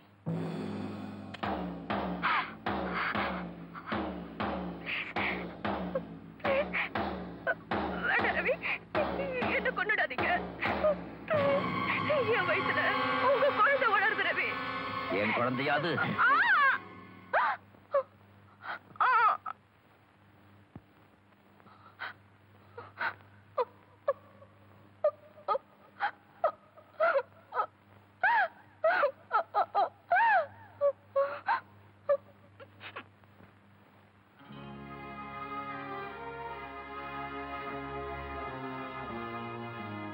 கலா கர்ப்பிணி என்று தெரிந்தும் கருணை இல்லாமல் குத்திக் கொண்ட ரவிவர்மாவிற்கு வருகிற இருபத்தி ஏழாம் தேதி தூக்கு தண்டனை நிறைவேற உள்ளது.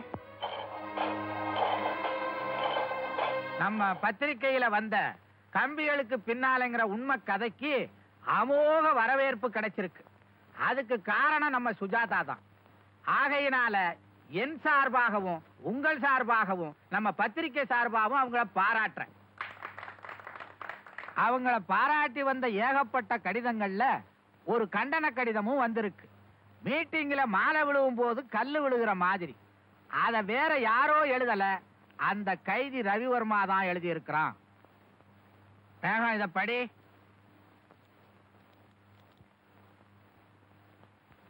அன்புள்ள ஆசிரியருக்கு வணக்கம்.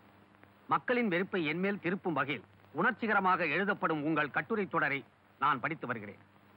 என்னையும் கலாமியும் பற்றி எழுதிய அந்த பெண் எழுத்தாளர் ஏன் அதில் வரவேண்டிய வில்லனை மறந்துவிட்டார்? மறந்து விட்டாரா? இல்லை மறைத்து விட்டாரா? தூக்கு கயிறு எனக்கு அளிக்கப் போகும் வேதனையை விட அவர் எழுத்துக்கள் எனக்கு வேதனை அளித்தன. இருப்பினும் அந்த ஆவேச எழுத்தாளருக்கு என் அன்பான வாழ்த்துக்கள். இக்கடிதம் சேரும் முன் நான் தூக்கு கயிறை முத்தமிட்டிருப்பேன். அன்பு ரவிவர்மா. இந்த லெட்டரை பத்தி உங்க அபிப்பிராயம் என்ன? சாக போற நேரத்துல கொலகார ஹீரோவாக பாக்குறான். வில்லனை மறந்துட்டாரா? இல்ல மறைச்சிட்டாரான்னு. ரவிவர்மா எழுதியிருக்கானே. ஒருவேளை வில்லன்னு ஒருத்தன் இருக்கானோ என்னமோ. அப்படி இருந்திருந்தா அத அவன் கோர்ட்ல சொல்லிருக்கலாமே. தன் தவறுக்கு நியாயம் கற்பிக்க பாக்குறான் போல இருக்கு. அப்படியும் சொல்லிட முடியாதேம்மா. கோர்ட்டு சாட்சியங்களை விசாரிச்சு தானே நீ கற்ற எழுதியிருக்க? நேரடியா கைதி வந்து உன்கிட்ட எந்த உரத்தையும் சொல்லலையே. அப்படி சொல்லி இருந்தா உண்மையான வில்லன் யாருன்னு நமக்கு தெரிஞ்சிருக்குமே. எது எப்படியோ நம்ம பத்திரிக்கை வாசகர்களுக்கு ரவிவர்மா ஒரு நல்ல கதையை கொடுத்தான். நாளை காலையில அஞ்சு மணிக்கு தூக்கு மேடையில சாக போற அவனுக்காக நாமெல்லாம் அனுதாபப்படுவோம்.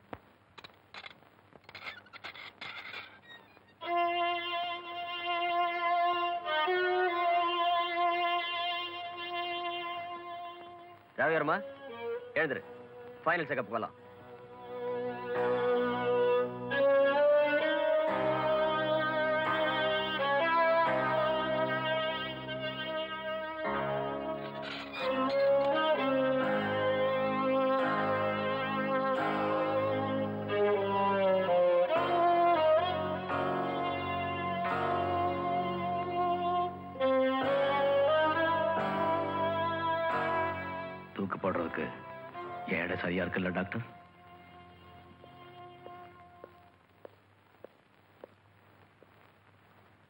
மிஸ்டர் ரவி. உங்க கடைசி ஆசை ஏதாவது இருந்தா சொல்லலாம். என் சொத்துக்களை உயிரெழுதி வைக்க ஆசைப்படுறேன். ஸ்டாம்ப் பேப்பர்ஸ் வேணும். ஏற்பாடு பண்றேன். சார்? எஸ் ரவிவர்மா திடீர்னு மயக்கமா கீழே விழுந்துட்டான் சார். ஏன் அநேகமா பக்கவாதமா இருக்குமோன்னு சந்தேகப்படுறேன். உடனே ஆஸ்பத்திரிக்கு எடுத்துட்டு போங்க. Okay sir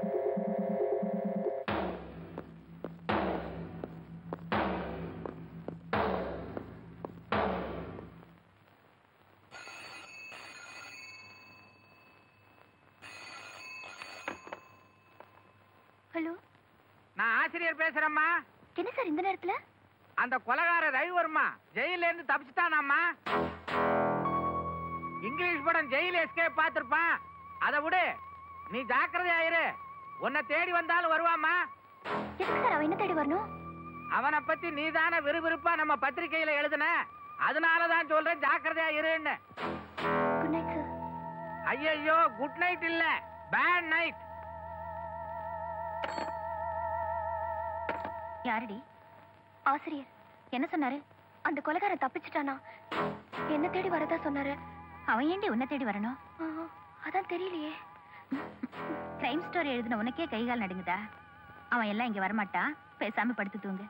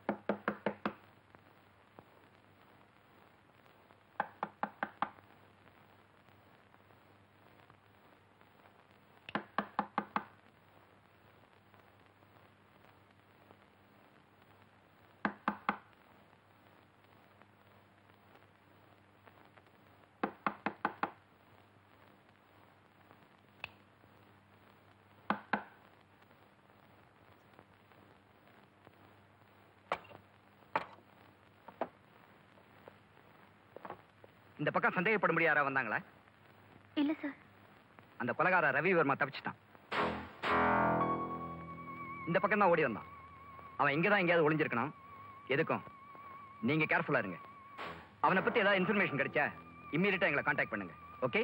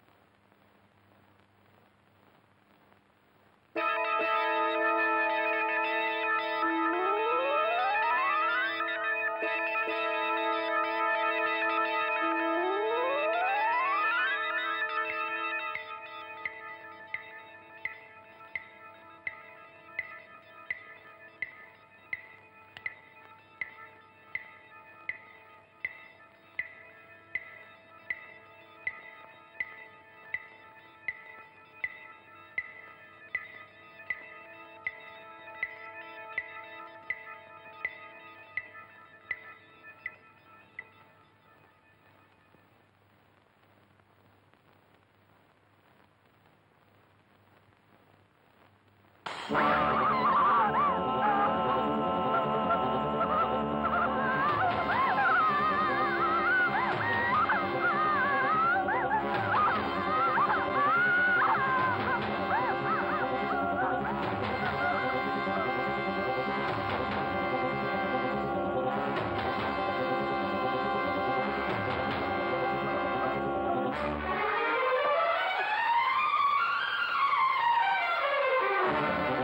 Is my first black mark இதுவே கடைசியா இருக்கணும்.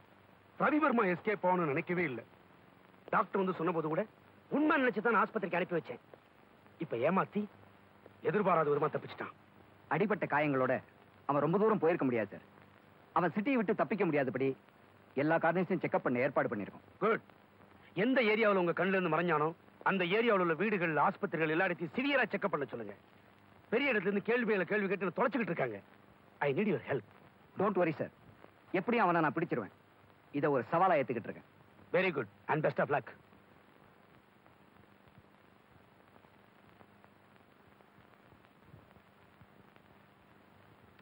என்ன தேடி கொலை பண்ண வந்தவனுக்கு ட்ரீட்மெண்டா இவர் எனக்கு பேஷண்ட் சுஜாதா. கொலைகாரன் உனக்கு பேஷண்டா இவன் எழுந்து என்ன பண்ணுவான்னு நீ என்னத்த கண்ட. நோயாளியா வந்த ஒருத்தன். கொலைகாரனா இருந்தாலும் சரி எதிரியா இருந்தாலும் சரி ட்ரீட்மெண்ட் கொடுக்க வேண்டியது ஒரு டாக்டரோட கடமை. ரத்த இழப்போட மயக்கமா இருக்காரு. முதல்ல அவர் கண் விழிக்கட்டும். இவன் கண் விழிக்கிறதுக்குள்ள போலீஸ்க்கு ஃபோன் பண்ணிட்டா தானா வந்து இழுத்துட்டு போறாங்க? சுஜாதா!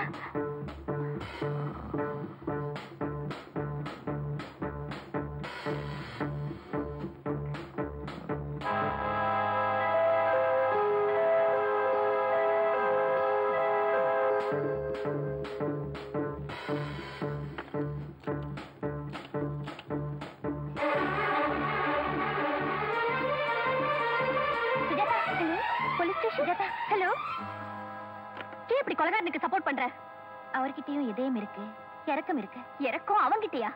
எங்க அக்காவை கொண்ட மிருகம். சாரிடா நீமா எனக்கு விரோதி ஆயிட்ட? உனக்கு யாருமே விரோதி இல்ல. கொலைகாரன்னு சொன்னியே முதல்ல இது படிச்சு பாரு.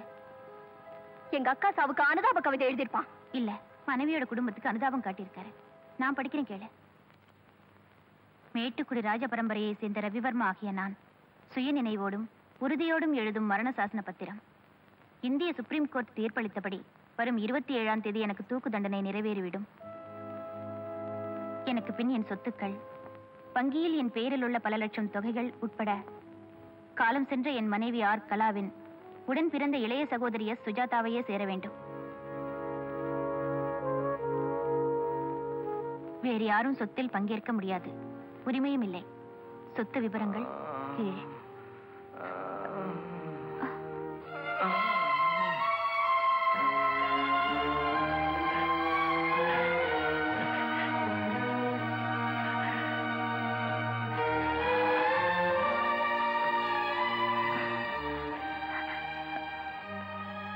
மோசமா இருக்கே? சுஜாதா நான் கிளினிக் போய் முக்கியமான மருந்து எடுத்துட்டு வரேன். நீ சொல்றது எதுவுமே எனக்கு புரியல. ஒரு பொண்ணா உன்னை நினைச்சுக்க. புரியும்?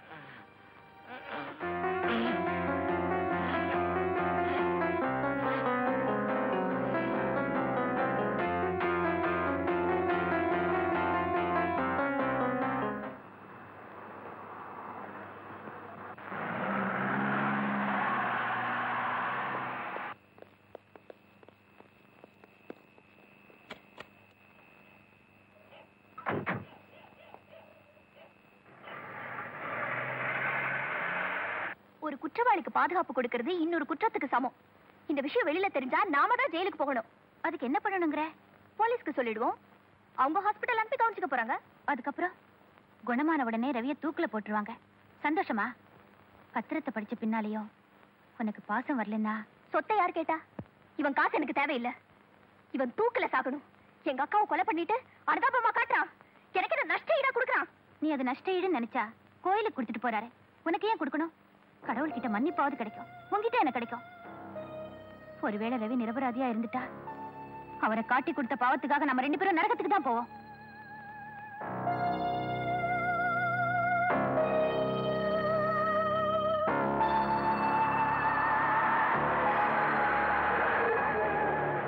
அந்த கைதிக்காக நான் பேசுறேன் நீ கோச்சுக்காதே கலா ரவி ரெண்டு பேரோட குடும்ப வாழ்க்கையை பத்தி எனக்கு ஓரளவு தெரியும். அதிகமான ஆசையோட விளைவு தாண்டி சந்தேகம். ஒரு பொருள் எனக்குத்தான் சொந்தம் நினைச்சிட்டா அது எவனாவது கொண்டு போயிடுவானுங்கிற பயம் இருக்க கூடாதா அதுக்காக பழைய சுமத்தி அவளை கொலை பண்ணிடுறதா?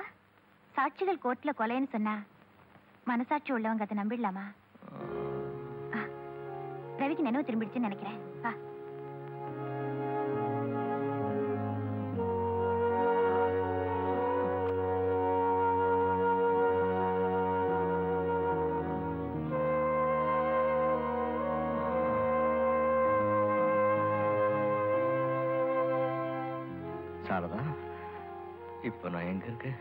எங்க வீட்டுல தான் இருக்கீங்க. போலீஸ்ல இருந்து தப்பிக்கிற அவசரத்துல இந்த வீட்டுக்குள்ள நுழைஞ்சிட்டேன். இது உங்க வீடுதான் இப்பதான் தெரியும். கடவுள் என்னை காப்பாத்தணுங்கிறதுக்காகத்தான் இங்க கொண்டாந்து சேர்த்திருக்கான். ஆமா. என்னை ஏன் கட்டி போட்டிருக்கீங்க? உங்களை பார்த்து பயந்துதான் என் ஃப்ரெண்டு இந்த காரியம் பண்ணி வச்சிருக்கா.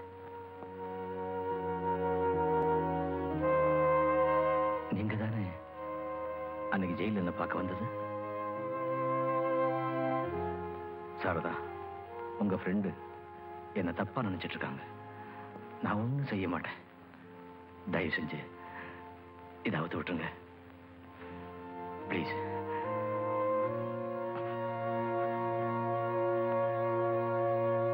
சாரதா! இவனுக்கு ஒரு இன்ஜெக்ஷன் போட்டு தூங்க வைக்கிறியா? இல்ல நான் போலீஸ்க்கு ஃபோன் பண்ணட்டுமா?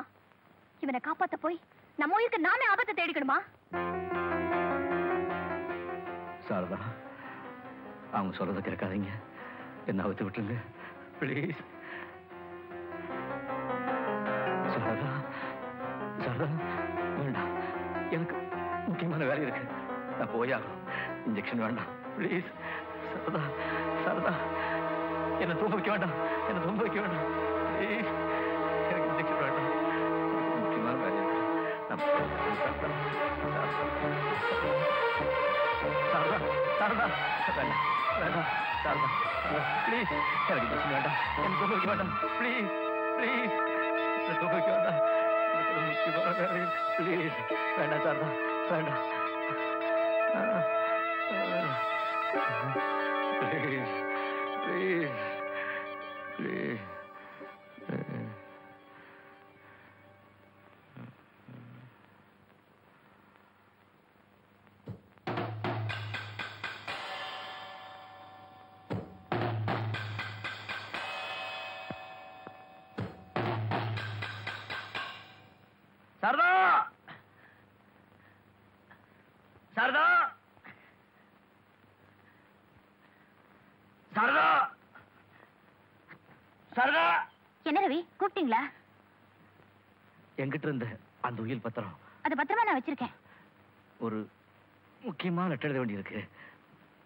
கொஞ்சம் அவுத்து விடுங்களா அது மட்டும் நடக்காது. லெட்டர் எழுதுறேன் நீ காரணம் சொன்னாலும் நான் கட்ட அவுத்து விட போறதில்ல. கட்டை அவுத்து பரவாயில்ல. நீங்களாவது லெட்டர் எழுதி கொடுக்குறீங்களா?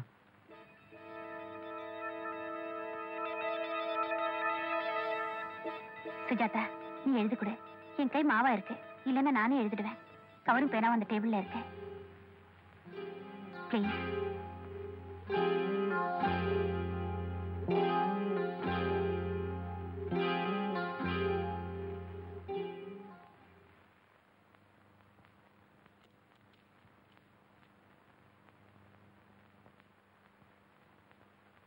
அட்ரஸ் மிஸ் சுஜாதா பதினாறு சிவன் கோயில் தெரு கும்பகோணம். அன்புள்ள சுஜாதாவுக்கு இந்த கடிதம் உனக்கு ஆச்சரியத்தை கொடுக்கலாம். இருந்தாலும் இத்துடன் வரும் பத்திரத்தை கவனமாக படிக்கவும். இதன் மூலம் என் சொத்துக்கள் அனைத்தும் உனக்கே சேரும். அனாதையா இந்த உலகத்தில் விடப்பட்ட எனக்கு இருக்கிற ஒரே ஒரு சொந்தம். நீதான் நம்புறேன். உன்னை நேரில் பார்க்கும் பாக்கியம் எனக்கு கிடைக்காவிட்டாலும் உன் அன்புள்ளத்தையும் உன் அக்கா மீது நீ வைத்திருந்த பாசத்தை பற்றியும் கலா அடிக்கடி சொல்வாள். என்னை பத்தின உண்மைகளை என்னைக்காவது ஒரு நாள் நீ புரிஞ்சுக்குவேன். அன்னைக்கு நான் உயிரோடு இருக்க மாட்டேன்.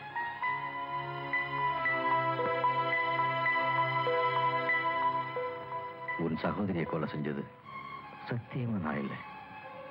அவ என்னதான் தவறு செஞ்சிருந்தாலும் கொலை செய்யற அளவுக்கு எனக்கு மனசு வராது.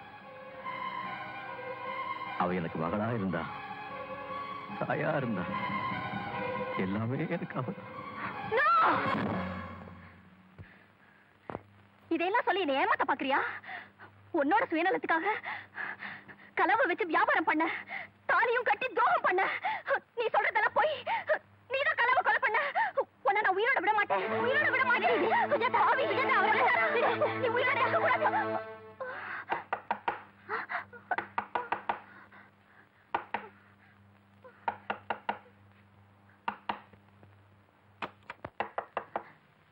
சுஜாதா சுஜாதா சுஜாதா. சுஜாதா கொடுத்துடாத சுஜாதா. ஹாய் எப்படி இருக்கு என்ட்ரி ஹிச்காக் படத்துல வர மாதிரி. டைனமிக்கா இல்ல? கொலகாரன் உள்ள வந்துருவாங்கிற பயத்துல கதவெல்லாம் பூட்டி வச்சிருக்கு. ம். ஆம்பளை இல்லாத வீடு. அதுக்காக என்ன காவல் வச்சிடாதீங்க. அப்படிலாம் ஒண்ணும் சொல்ல மாட்டோம். உங்களுக்கு ஒரு விஷயம் தெரியுமா. தெரியாதுல்ல? நான் சொல்றேன்.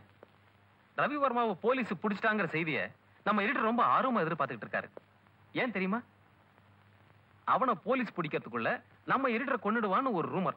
பயந்து வீட்டை விட்டு வெளியே வராம எல்லா வேலையும் போன்லயே முடிச்சிடாரு இந்தாங்க. என்ன இது அதுக்குள்ள மறந்தீங்களா உங்களுடைய heart throw Ravi Shastri photos அந்த மேட்ச் கவரேஜுக்கு நான் மட்டும் போலன்னா ரவி சாஸ்திரியால போலிங்கும் பண்ணிருக்க முடியாது இந்தியாவும் ஜெயிச்சிருக்க முடியாது. ஏன்னு கேளுங்க. கேட்க மாட்டீங்களே? சரி நானே சொல்றேன். சிலோல மேட்ச் நடந்தப்போ நான் போல. இந்தியா தோத்து போச்சு. இதுல இருந்து உங்களுக்கு என்ன தெரியுது? தொலைய வலிக்குது. அ, புரிஞ்சுது புரிஞ்சுது. டாக்டர் சுஜாதா ஹெல்த்தை பத்திரமா பாத்துக்குங்க ஏன்னா she's a genius writer coffee tea ஒண்ணும் இல்லையா? Okay okay. நான் ஹோட்டலே சாப்பிட்டுக்கிறேன். வரட்டுமா? One minute mister. அர்ஜுன் சுஜாதாவுக்கு இன்னும் ரெண்டு நாள் லீவ் வேணும்னு ஆபீஸ்ல சொல்லிடுங்க. ரெண்டு நாள் என்னங்க ரெண்டு வாரமே தர சொல்றேன். எனக்கு ஒண்ணும் இல்ல. ஆனா அந்த காலமேகம் உருகிடுவானே. அதை நான் சமாளிச்சுக்கிறேன். வரேன்.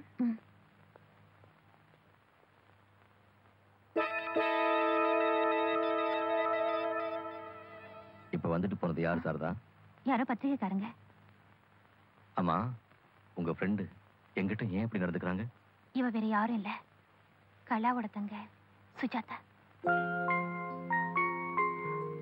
அந்த சுஜாதாவா இவ?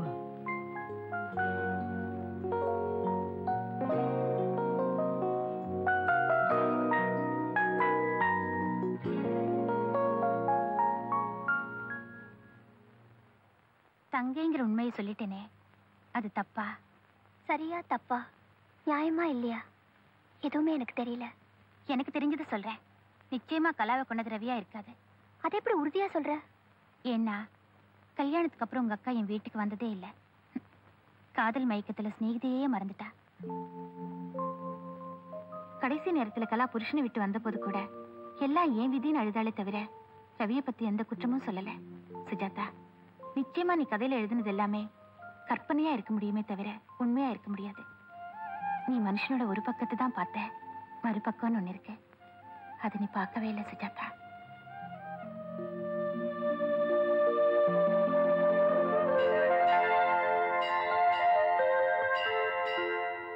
அம்மா ரவிவர்மா குற்றவாளியா நிரபராதியான்னு தெரியாம நான் குழம்பி போயிருக்கேன்.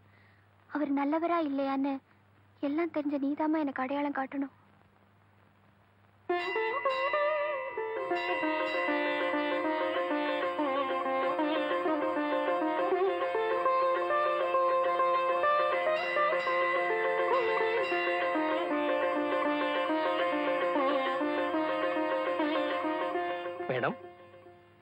நான் அட்வொகேட் நடராஜன். கலா கொலை கேஸ்ல ரவிவர்மாவுக்காக நான் தான் வாதாடினேன். நீங்க தானே ரவிவர்மாவை பத்தி பத்திரிகையில் எழுதின ரிப்போர்ட்டர் ஆமா சார். உண்மை தெரியாம நீங்க எழுதிட்டீங்க. வழக்குல சுலபமா ரவிவர்மா ஜெயிச்சிருக்கலாம். ஆனா ஏதோ ஒரு காரணத்துக்காக கலாவை பத்தின உண்மையை கோர்ட்ல எல்லாருக்கும் முன்னாடி சொல்லாம மறைச்சிட்டாரு. அதை பத்தி நான் திரும்ப திரும்ப கேட்டதுக்கு ரவிவர்மா சொன்ன ஒரே வார்த்தை என் கலாவே போயிட்டா இனிமே நான் வாழ்ந்தா என்ன போனா என்ன? சீக்கிரம் அவகிட்ட போய் சேர்ந்துடுறேன். விட்டுடுங்க சாருன்னு சொல்லிட்டாரு.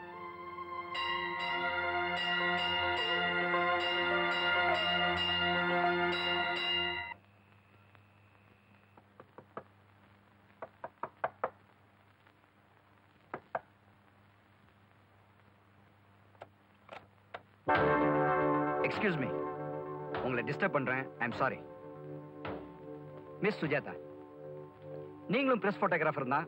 கடைசியா ரவிவர்மாவை ஜெயில மீட் பண்ணீங்க இல்லையா? ஆமா சார் அவன் பேச்சுல ஆத்திரம் இல்ல யாரையாவது வஞ்சம் தைக்கணும்ன்ற மோட்டிவ் ஏதாவது தெரிஞ்சதா?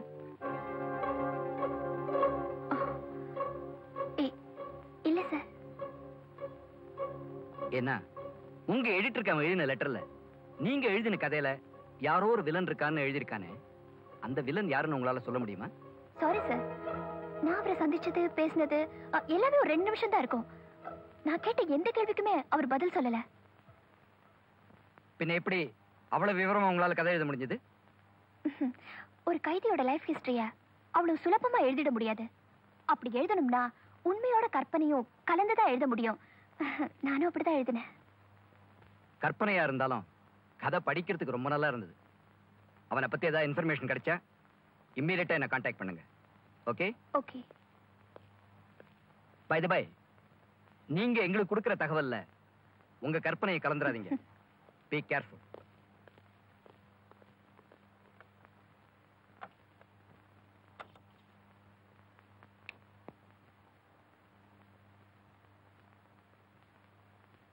இப்ப வந்தது போலீஸ் தானே சாரதா? ஆமா. நைட் டியூட்டிய கரெக்டா பாக்குறதா காட்டிட்டு போறாங்க. என்ன பிடிக்கத்தானே வந்தாங்க? நீங்க ஏன் என்ன காட்டி கொடுக்கல? நீங்க பெரிய சம்பல் கொள்ளக்காரன். உங்களை புடிச்சு கொடுத்தா லட்ச ரூபாய் தர போறாங்க.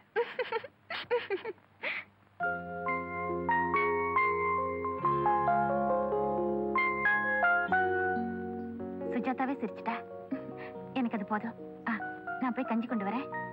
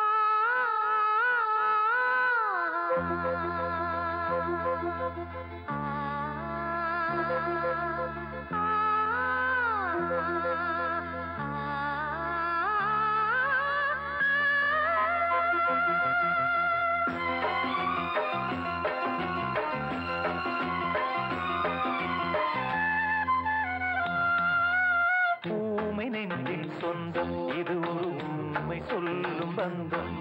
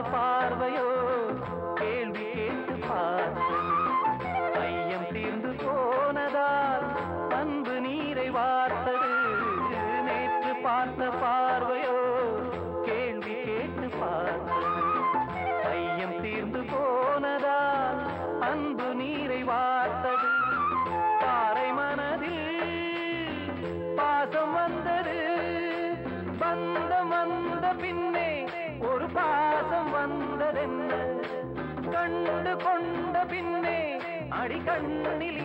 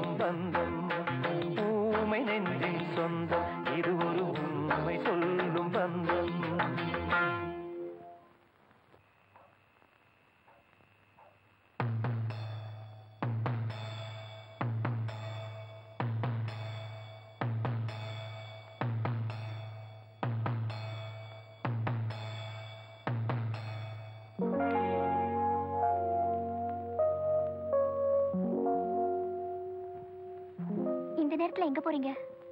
நான் நிறைவேற்ற வேண்டிய கடமை ஒண்ணு இருக்கு. அதுக்கு இது நேரம் இல்ல.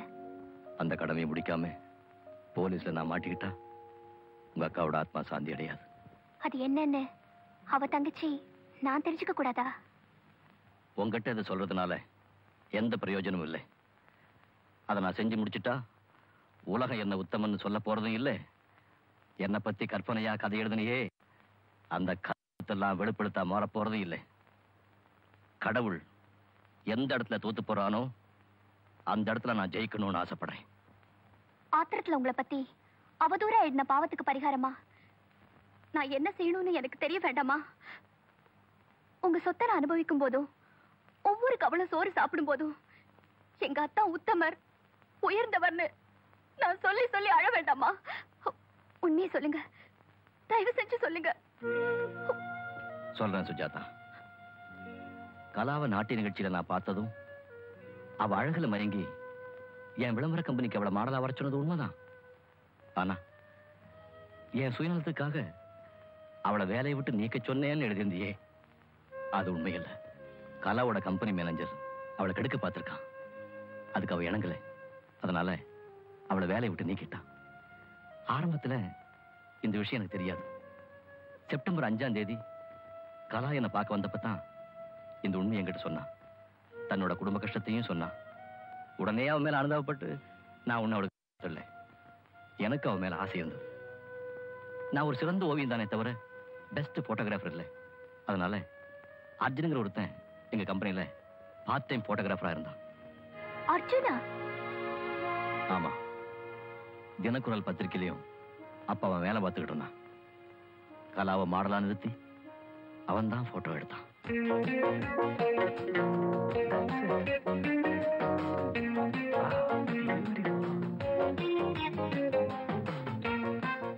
பாடி ஸ்ட்ரக்சரை பார்த்தா இளவரசி டயனா மாதிரியே இருக்கு. அர்ஜுன் ஒழுங்க வேலை பாருடா. மிஸ் கலா உங்க முகத்துல ஜில்லுன்னு தண்ணி பட்டா எப்படி இருக்கும்? அப்படி ஒரு எக்ஸ்பிரஷன் கொடுங்க. டேய் எதுக்குடா அது? என் மேனி அழகுக்கு அப்படிங்கிற கேப்ஷனுக்காக ஓகே ரெடி ஃபென்டாஸ்டிக் ஃபீச்சர்ஸ் மாடலிங்க்குன்னே உங்க அம்மா இவ்வளவு பெத்திருப்பா போல இருக்கு. என்ன கிரேஸ் என்ன ஸ்கெட்ச் எங்க பிடிச்ச ரவி? ஆ, ஏலத்துல வாங்கிட்டு வந்தேன். ஏன்டா இருக்கிற அந்த கண்ணு இருக்க என்ன பிரைட்னஸ் அந்த முகம் இருக்க என்ன ஸ்மார்ட்னஸ் அந்த லிப்ஸ் இருக்க ஆரஞ்சு சொல்ல மாதிரி அப்படியே எவன் கொடுத்து வச்சிருக்கானோ? சத்தியமா நீ இல்லடா. ஏன்? நீ பிராக்கெட் போட்டியா? சிரிக்கிறிய? அட்வான்ஸ் அமைக்கிட்டியா போடா டேய் போய் வேலையை பாரு. Okay okay. சந்துரு சீக்கிரம் வாப்பா. ஆ போஸ். கொஞ்சம் தள்ளி வாங்க தள்ளி வாங்க. உங்க ரைட்டுக்கு ரைட்டுக்கு வாங்க. அந்த லைட்டை கொஞ்சம் வாங்கிக்கங்க. ம் தள்ளி வாங்க தள்ளி வாங்க. தள்ளி வாங்கன்னு சொன்னா ரோட்டுக்கே போயிட்டீங்களே. ஆ அப்படி ஆ. சின்ன தொடாம சொல்லுங்க. நானே கொடுக்குறேன். தொட்டா சிரிங்க மாதிரி இருந்தா இப்படி அதுக்கு நீங்க மாடலிங் வரணும்? ஆ? பேசாம பொம்மையை வச்சு எடுக்கலாம். Ready pose. ஓகே. ஆ அந்த சோப் அட்வர்டைஸ்மெண்ட்டுக்கு புதுசா செல்ஸ் எடுக்கணும். போய் டவல் கட்டிட்டு வாங்க.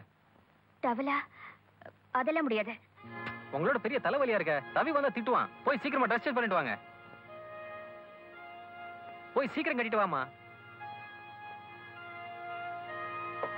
சந்துரு? கூப்பிட்டீங்களா நீ என்ன பண்ற தெரியுமா? ஆர்டிஸ்ட் ட்ரெஸ் சேஞ்ச் பண்ணிட்டு வர லேட் ஆகும். நீ மெதுவா போய் டிஃபன் சாப்பிட்டு மெதுவா வா. ஓகே சரி sir.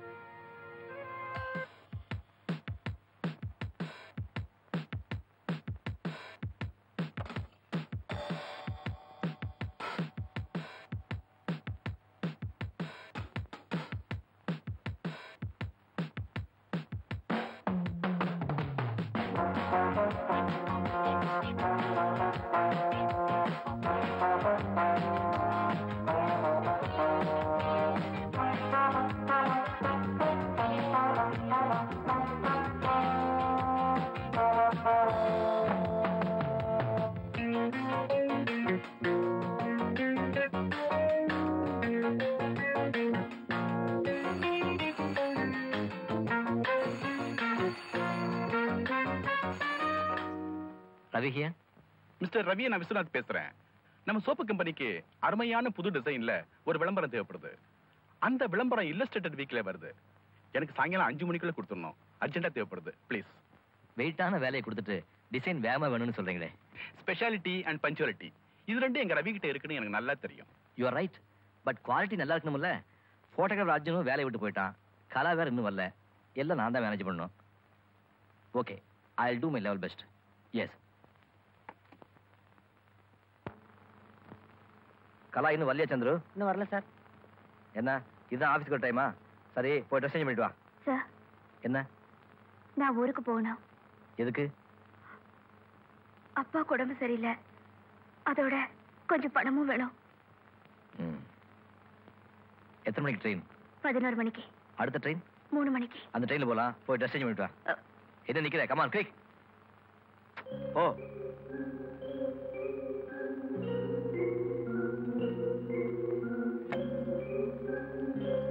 ரெடியா?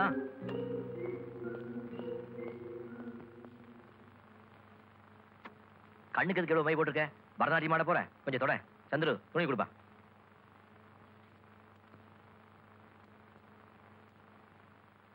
அஞ்சு மணிக்குள்ள டிசைன் கொடுத்தாகணும். சீக்கிரம் தொட.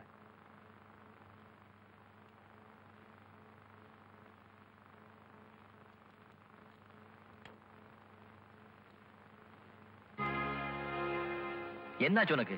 ஏன் உயிரை வாங்குறேன் face tilt up right right கொஞ்சம் கொஞ்சம் இன்னும் கொஞ்சம். Smile smile little move little move little move smile I say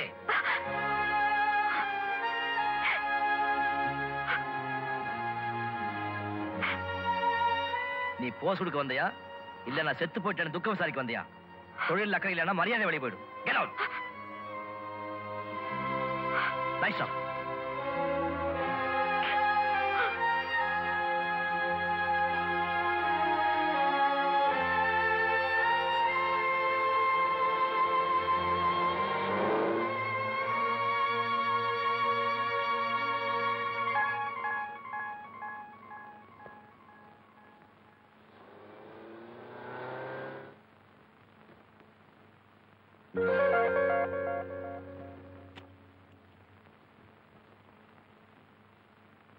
கொஞ்சம் சாதிக்கலாம். ஸ்டுடியோவில் உங்ககிட்ட இப்படி நடந்துக்காக வருத்தப்படுறேன். ஒர்க்கில் இந்த டென்ஷன் அப்படி ஆயிடுச்சு. ஐ எம் எக்ஸ்ட்ரீம்லி சாரி பணம் கேட்டல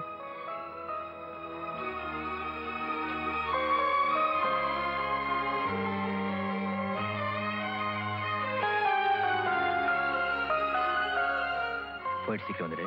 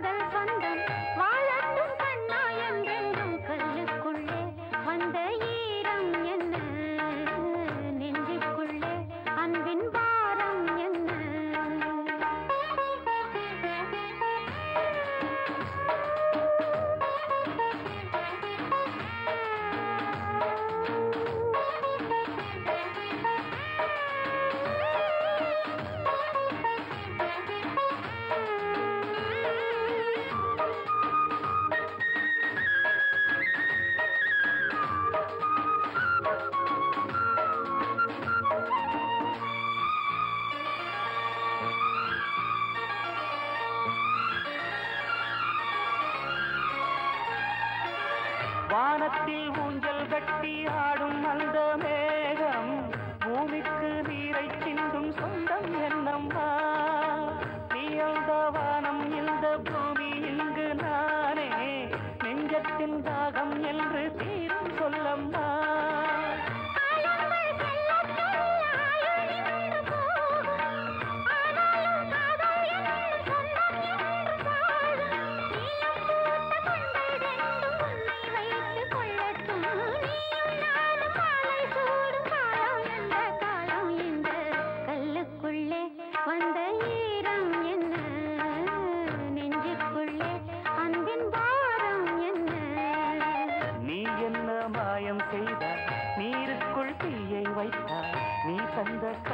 சொந்தம்.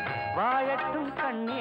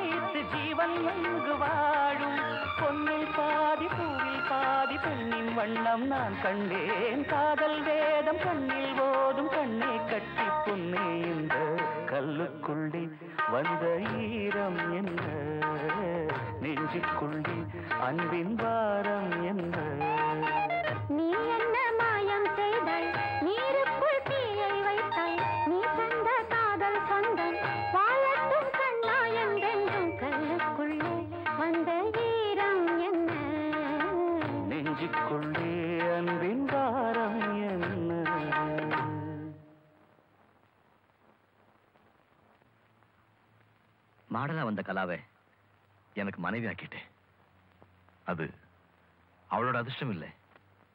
நான் செஞ்ச புண்ணியம். கலா என் வாழ்க்கை இணைஞ்சதுக்கு அப்புறம் நாங்க ரெண்டு பேரும் இந்த உலகத்தையே மறந்தோம்.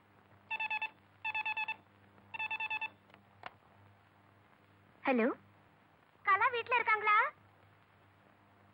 ரவி அங்க இருந்தா கலா இங்கதான் இருப்பாங்க. ஹேய் என் குரல் உனக்கு எப்படி தெரியும்? குரல் மட்டும் என்ன? எல்லாமே தெரியும். எல்லாமா? என்னன்னு தெரியும்? ச்சீ, என்னச்சி புதுசா கல்யாணம் பண்ணிட்டவங்க அப்படிதான் பேசிக்குவாங்க. ஆமா இப்ப நீ என்ன பண்ணிட்டு இருக்க?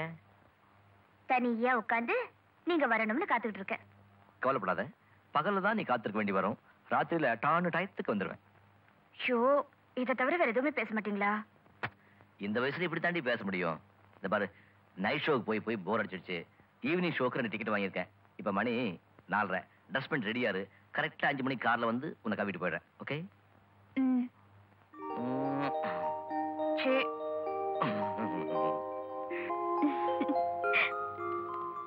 hi miss Kala hello வாங்க. Oh sorry Mrs Kala Ravivarma இல்ல? வாங்க அர்ஜுன்.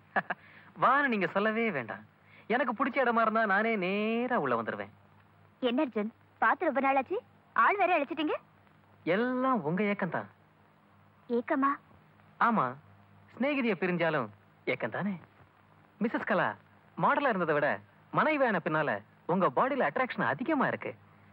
அங்கங்க ஒரு டெவலப்மெண்ட் தெரியுது? எக்ஸ்கியூஸ் மீ என் புருஷன் இப்ப வந்துருவாரு. அவன் வரும்போது என்ன வர்ணிக்காதேங்கிறியா? தட்ஸ் கரெக்ட் ஆமா ரவி எத்தனை மணிக்கு வருவான்? இன்னும் அரை மணி நேரத்துல அவர் இங்க இருப்பாரு. ஓ அரை மணி நேரம் ஆகுமா? நமக்கு வேண்டியது only டென் மினிட்ஸ் அதுக்கு முன்னால இந்த போட்டோஸ் கொஞ்சம் பாக்குறியா?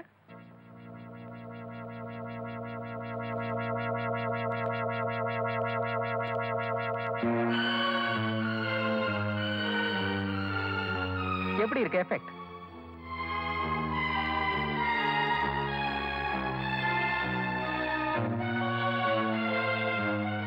எதுவுமே நியூடா இருந்தா அதுல ஒரு தனி இன்ட்ரெஸ்ட் இருக்கும். நாலு பேர் இருந்தா ரசிச்சு போட்டோஸ் எடுக்க முடியாது. நீ பெட்ரூம்ல தனியா இருக்கணும். நான் ஆங்கிள் பார்த்து பார்த்து நல்ல ஸ்டில்ஸ் எடுக்கணும். ராஸ்கல் திருட்டுத்தனமா என்ன கேவலப்படுத்துறதுக்காக போட்டோ எடுத்துட்டு அதை என்கிட்டயே காட்டுறியா? எஸ் முதல்ல உன்கிட்ட காட்டுறேன். நீ என்கிட்ட அட்ஜஸ்ட் பண்ணலன்னா உன் புருஷன்கிட்டயும் காட்டுவேன். போடா வெளியே. கெட் அவுட் நீ கிழிச்சு போட்ட போட்டோஸோட நெகட்டிவ்ஸ் என்கிட்ட தான் இருக்கு. அதை என்லார்ஜ் பண்ணி மவுண்ட் ரோட்ல வைக்கட்டுமா? இல்ல ரவி கிட்ட காட்டட்டுமா? அப்போ சிம்பிளா எஸ்ன்னு சொல்லு. ஒன் ரிக்வெஸ்ட் என்ன? ஒண்ணுமில்ல. உன் தாலியை நான் கட்ட மாட்டேன். அது மகா பாவம். சும்மா உன் Dress மட்டும்தான். ஒரே ஒரு நாள் உன் அழகு எனக்கு சொந்தமாக்கிட்டேன்னா? பாவி வெளியே போறியா இல்லையா? இப்ப வேணா நான் வெளியே போயிடுறேன். ஆனா ஞாபகம் வச்சுக்க எனி ஒன் டே அது எந்த டேவா இருந்தாலும் சரி நைட்டா இருந்தாலும் சரி. நான் ரெடி பட் ஒன் திங் மாட்டேன்னு சொன்ன நெகட்டிவ்ஸ் ஃப்ரெண்ட்ஸ் உன்னுடைய புருஷன் mind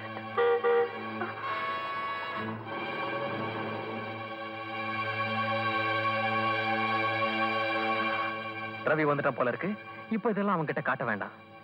But don't forget just one day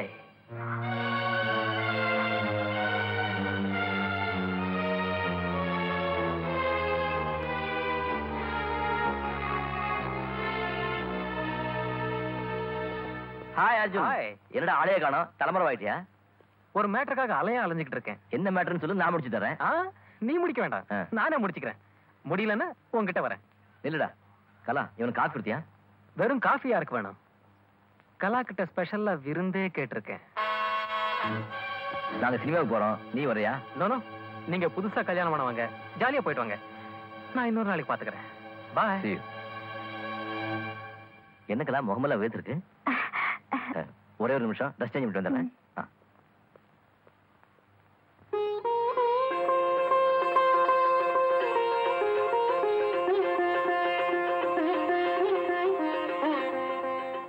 உங்ககிட்ட ஒண்ணு கேட்கணும். என்ன? தினமும் கடவுள்கிட்ட நீ என்ன வேண்டிக்குவ? கத்திரிக்காய். விலையை குறைக்கணும்னா? ஐயோ கூடிய சீக்கிரம் நமக்கு அழகோட அறிவோட குழந்தை பிறக்கணும்னு வேண்டிப்பேன். அப்படின்னா அழகும் அறிவும் என்கிட்ட இல்லைன்னு சொல்றியா? அடடடா. அப்ப சொல்லு தினமும் கடவுள்கிட்ட நீ என்ன வேண்டிக்குவ? கடவுளே நானும் என் புருஷனும் எப்பவும் சந்தோஷமா ஒத்துமையா இருக்கணும். எங்களுக்குள்ள எந்த காரணத்தை கொண்டோ ஒரு சண்டையோ சச்சரவோ சந்தேகமோ சந்தேகமும் வராம இரு இரு. சந்தேகம் வரணும்? அது அது குடும்ப செலவுல ஏதாவது தப்பா தவறா? என்ன தப்பு? என்ன தவறு? ஐயோ உங்க கூட பேசவே முடியாது.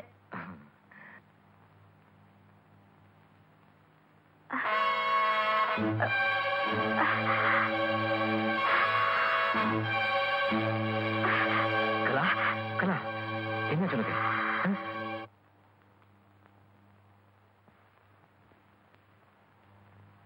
ஒரு good news mister Ravi Kala பிரெக்னெண்டா இருக்கா ஓ my sweetie excuse mister Ravi இது கிளினிக் சாரி டாக்டர் உங்க ஃப்ரெண்டுக்கு ஏதாவது இன்ஸ்ட்ரக்ஷன்ஸ் இருக்கா? அதிகமா ஸ்ட்ரெயின் பண்ணாம பாத்துக்குங்க. ஓ ஷூர் கலா நமக்கு என்ன குழந்தை பிறக்கும்? உங்களை மாதிரி பையன்தான் பிறப்பா. என் வயசுலயா? உன் அழகுல எனக்கு ஒரு பெண் குழந்தை வேணும். ம் பையன்தான் பிறக்கும். பொண்ணுதான் பிறக்கும். பையன்தான் பொண்ணுதான் பையன்தான் சரி நமக்குள்ள சண்டை வேண்டாம். உன் ஆசைக்கு ஒரு பையனும் என் ஆசைக்கு ஒரு பொண்ணுமா சேர்த்து ரெட்டை குழந்தையா பிறக்கட்டுமே. ஸ்ட்ரெயின் பண்ணக்கூடாது. டாக்டர் சொல்லியிருக்காங்க.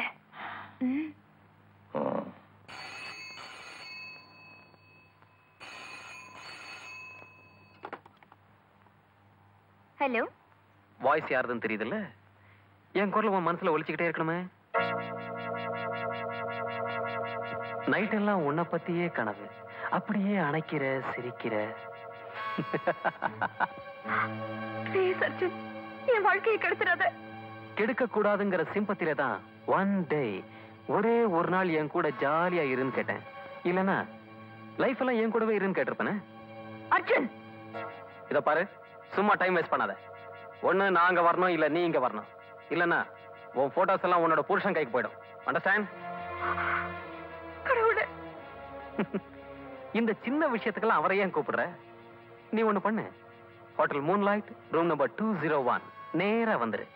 நீ வரலன்னா my dear sweetheart your photos negatives உன்னுடைய புருஷன். Okay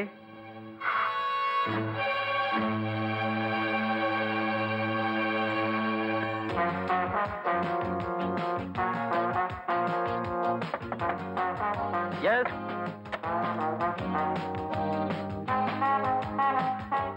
wow welcome my dear வா வா வா வா வா வா வா வா. கரெக்டா சொன்ன டைமுக்கு வந்துட்டியே. உன்ன மாதிரி டைம் கீப் பண்றவங்கள பார்த்தா எனக்கு ரொம்ப பிடிக்கும். ஐ அம் ரெடி நானும் ரெடி இது எதுக்கு? அந்த நெகட்டிவை திருப்பி கொடுக்க. நெகட்டிவ் திருப்பி கொடுக்கறதுக்கா?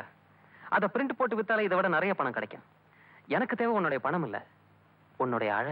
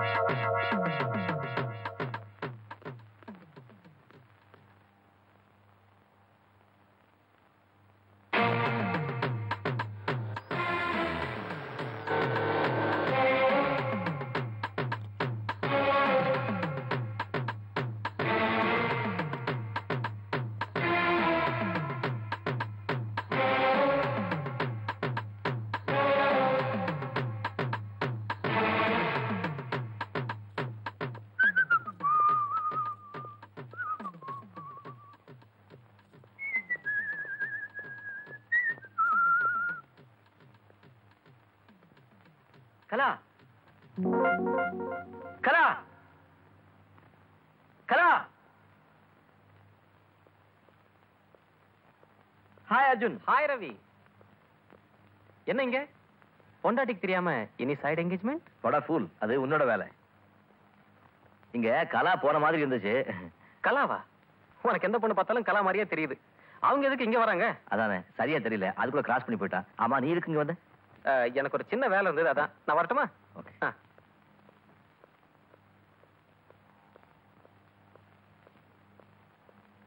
good morning good morning உங்க பார்ட்டி ஒன் ஆர் டூல வெயிட் பண்றாங்க. ஓகே ஆ ஒன் மினிட் உங்க ஒய்ஃப் மறுபடியும் மாடலிங் பண்றாங்களா சார் இல்லையே ஏன்?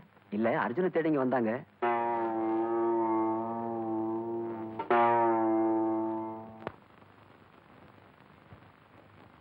என்ன கலா? ஏன் ஒரு மாதிரியா இருக்க? அப்படியெல்லாம் ஒண்ணு இல்ல. கலா ஒரு வேடிக்கை நடந்துச்சு. இன்னைக்கு மூன் லைட் ஹோட்டலுக்கு போயிருந்தேன். அங்க உன்ன மாதிரி ஒரு பொண்ணு போயிட்டு இருந்தா. ஆனா அது நீ இல்ல. ரிசப்ஷனிஸ்ட் கேட்டான் ஏன் சார் உங்க ஒய்ஃப் இன்னும் மாலையும் போறாங்களான்னு? அர்ஜுன் பார்க்க நீ அவன் ரூமுக்கு போயிருந்தியா? அவனை பார்க்க வேற எவ்வளவு வந்திருப்பா அவளை போய் நீ நினைச்சிட்டான். Kala don't take it serious சும்மா தமாஷுக்கு சொன்னேன் hello hello hello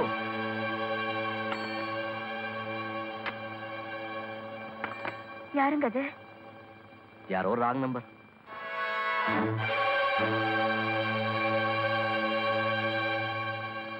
good morning sir good morning Arjun sir வந்துட்டு போனார் சார் சொல்லு. உங்க ப்ரோக்ராம் எப்படி? நைட் எத்தனை மணிக்கு வீட்டுக்கு போவீங்க? இல்ல நைட் இங்க தான் தங்குவீங்களான்னு கேட்டாரு. நீ என்ன சொன்ன? வேலை டைட்டா இருக்கு. நைட் லேட்டா தான் போவீங்கன்னு சொன்னேன். ஹாய் கலா உன்னை நான் எப்படியெல்லாம் காப்பாத்திருக்கேன் தெரியுமா? தெரியாதுல்ல? அன்னைக்கு ரவி உன்னை ஹோட்டல் மூன் லைட்ல பார்த்ததா சொன்னான். ஆனா நான் இல்லைன்னு அடிச்சு சொல்லிட்டேன். எப்படி? உன்னுடைய செக்யூரிட்டிக்காக என்னுடைய சின்சியாரிட்டி. இத பாரு அர்ஜுன். இனிமே என்னால பொறுத்துக்க முடியாது.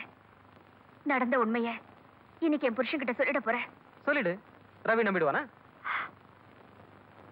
யோக்கியமான பொண்ணையே ஒவ்வொரு புருஷனும் உரைச்சு பார்க்கும்போது கேவலம் உடம்ப காட்டுற தொழிலுக்கு வந்த உன்னை ரவி சந்தேகப்பட மாட்டாங்கிறது. என்ன நிச்சயம்? அர்ஜுன் உன்னை கையெடுத்து கும்பிடுறேன். தயவு செஞ்சு என்ன மறந்துரு வேண்டாம் அர்ஜுன் ப்ளீஸ் என்ன ப்ளீஸ் பண்ண வேண்டியவளே நீதாண்டி. முதல்ல அதை செய்.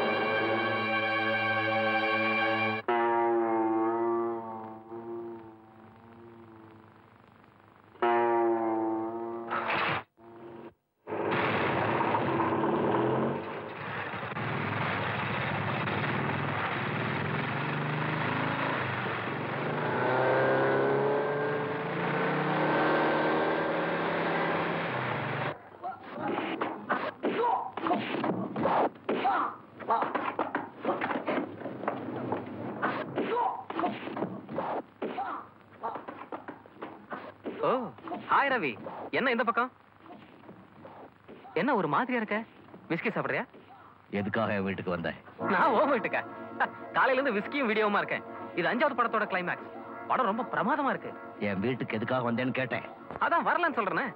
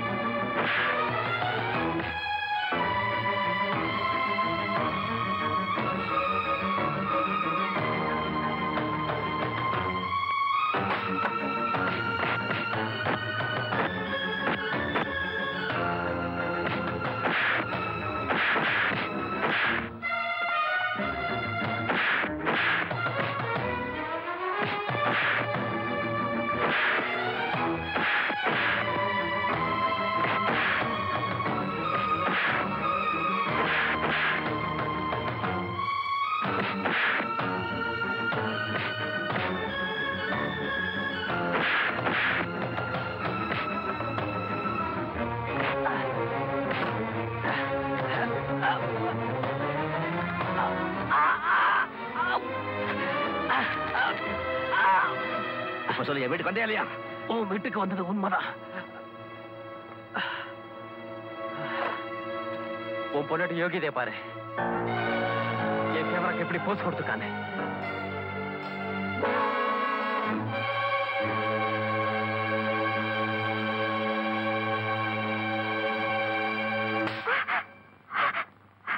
நான் சொல்றது கேளுங்க.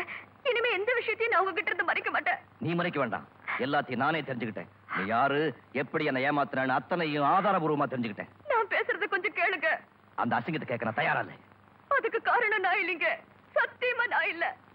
நடந்ததெல்லாம் ஆரம்பத்தையே நான் உங்ககிட்ட சொல்லியிருப்பேன். ஏழையா பிறந்தவன். கோழையாவும் பிறந்துட்டேன். இந்த உண்மைய முன்னாடியே நான் உங்ககிட்ட சொல்லியிருந்தா எங்க நான் உங்களை இழந்துட வேணுங்கிற பயத்துல தாங்க சொல்லல. இல்ல.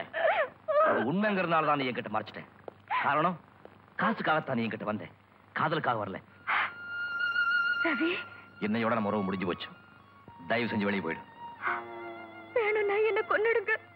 ஆனா வெளியில போன மட்டும் சொல்லிடாதீங்க. நீ செஞ்ச காரியத்துக்கு உன்னை கொலை பண்ணணும். ஆனா என்னால அது முடியாது. ஏன்னா அளவுக்கு அதிகமா நான் உன்னை நேசிச்சிட்டேன்.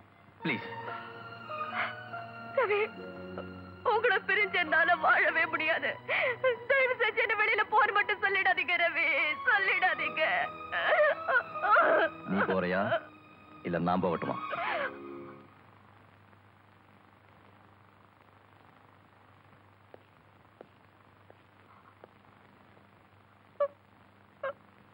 ஆவேசத்தில் விவாகரத்து வழக்கு தொடுத்துட்டாலும் கலா மேல நான் வச்சிருந்த அன்புக்கு அளவே இல்லை. திரும்பவும் அவளை வீட்டுக்கு கூப்பிட்டுக்கலாம்னு நினைச்ச நேரத்துல வழக்கோட தீர்ப்பை சொல்லிட்டாங்க. என் வாழ்க்கையில மனம் வீசின ரோஜாவை நானே பிச்சை எறிஞ்சிட்டேன். தீர்ப்போட வேதனை தாங்காம கால் போன பக்கம் நடந்துட்டு அன்னைக்கு ராத்திரி லேட்டா நான் வீட்டுக்கு போனேன்.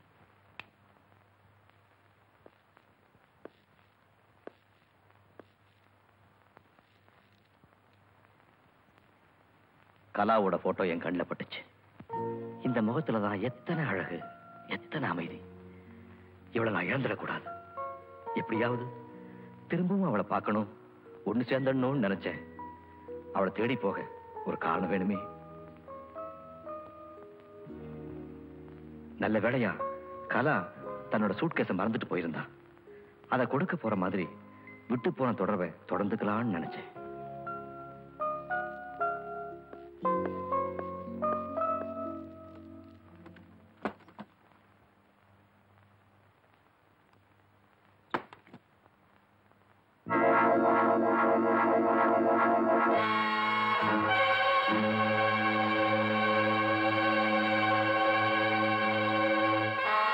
கலா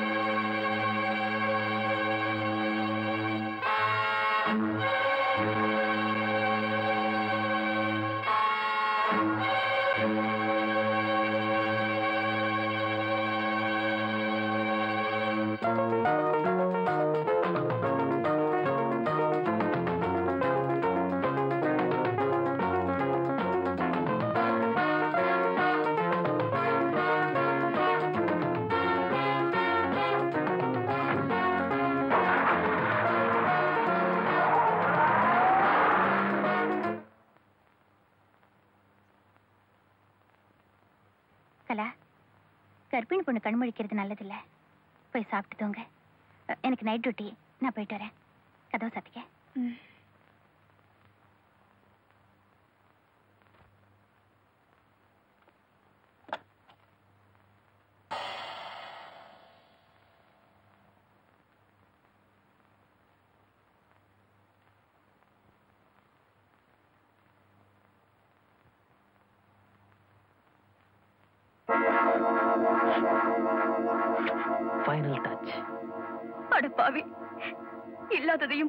சொல்லி விவாகரத்து மூலமா என்னையும் ரவியும் பிரிச்சுட்டியே. நீ என்ன லாபம் கண்ட? லாபம் தான் முன்னால நீ ரவியோட வைஃப் இப்போ எக்ஸ் வைஃப் இனிமே உன்னை தொடலாம் கிஸ் கொடுக்கலாம் என்ன வேணாலும் செய்யலாம். வேண்டாம் அர்ஜுன் வேண்டாம். என்னைக்காவது என் ரவிக்கு உண்மை தெரியும். அவர் என்ன தேடி வருவாரு. என் வாழ்க்கையை கெடுத்துறாத. ப்ளீஸ் நோ இதான் எனக்கு லாஸ்ட் சான்ஸ் நான் விட மாட்டேன்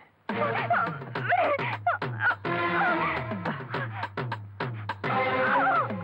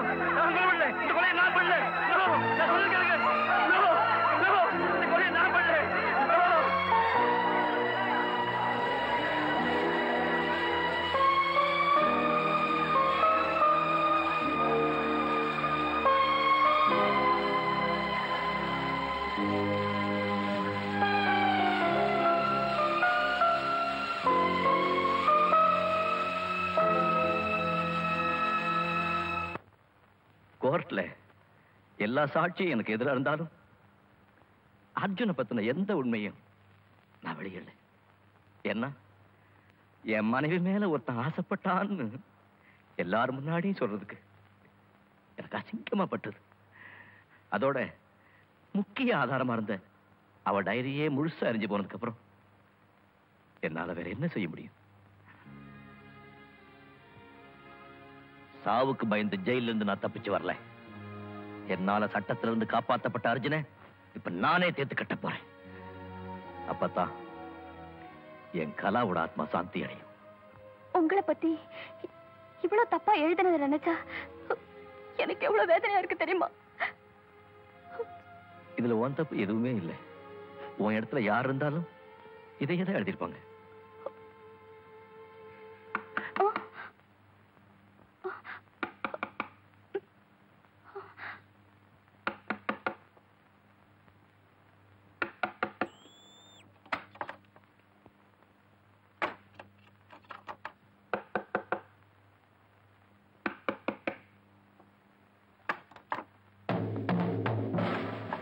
ஏன் கதவு திறக்க எவ்வளவு நேரம்? மேல பெட்ரூம்ல தூங்கிட்டு இருந்தா சார் எங்க அந்த கொலகார ரவிவர்மா? இங்க வரல சார் எல்லாம் எனக்கு தெரியும். Come on search house on the table quick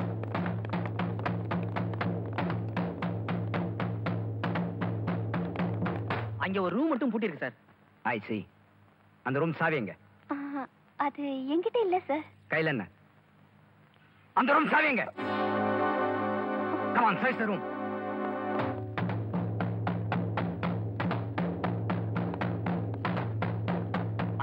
உடைஞ்சிருக்கு I see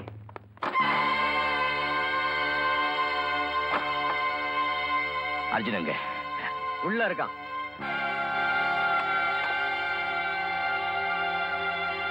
இங்கே வர சொல்றேன்.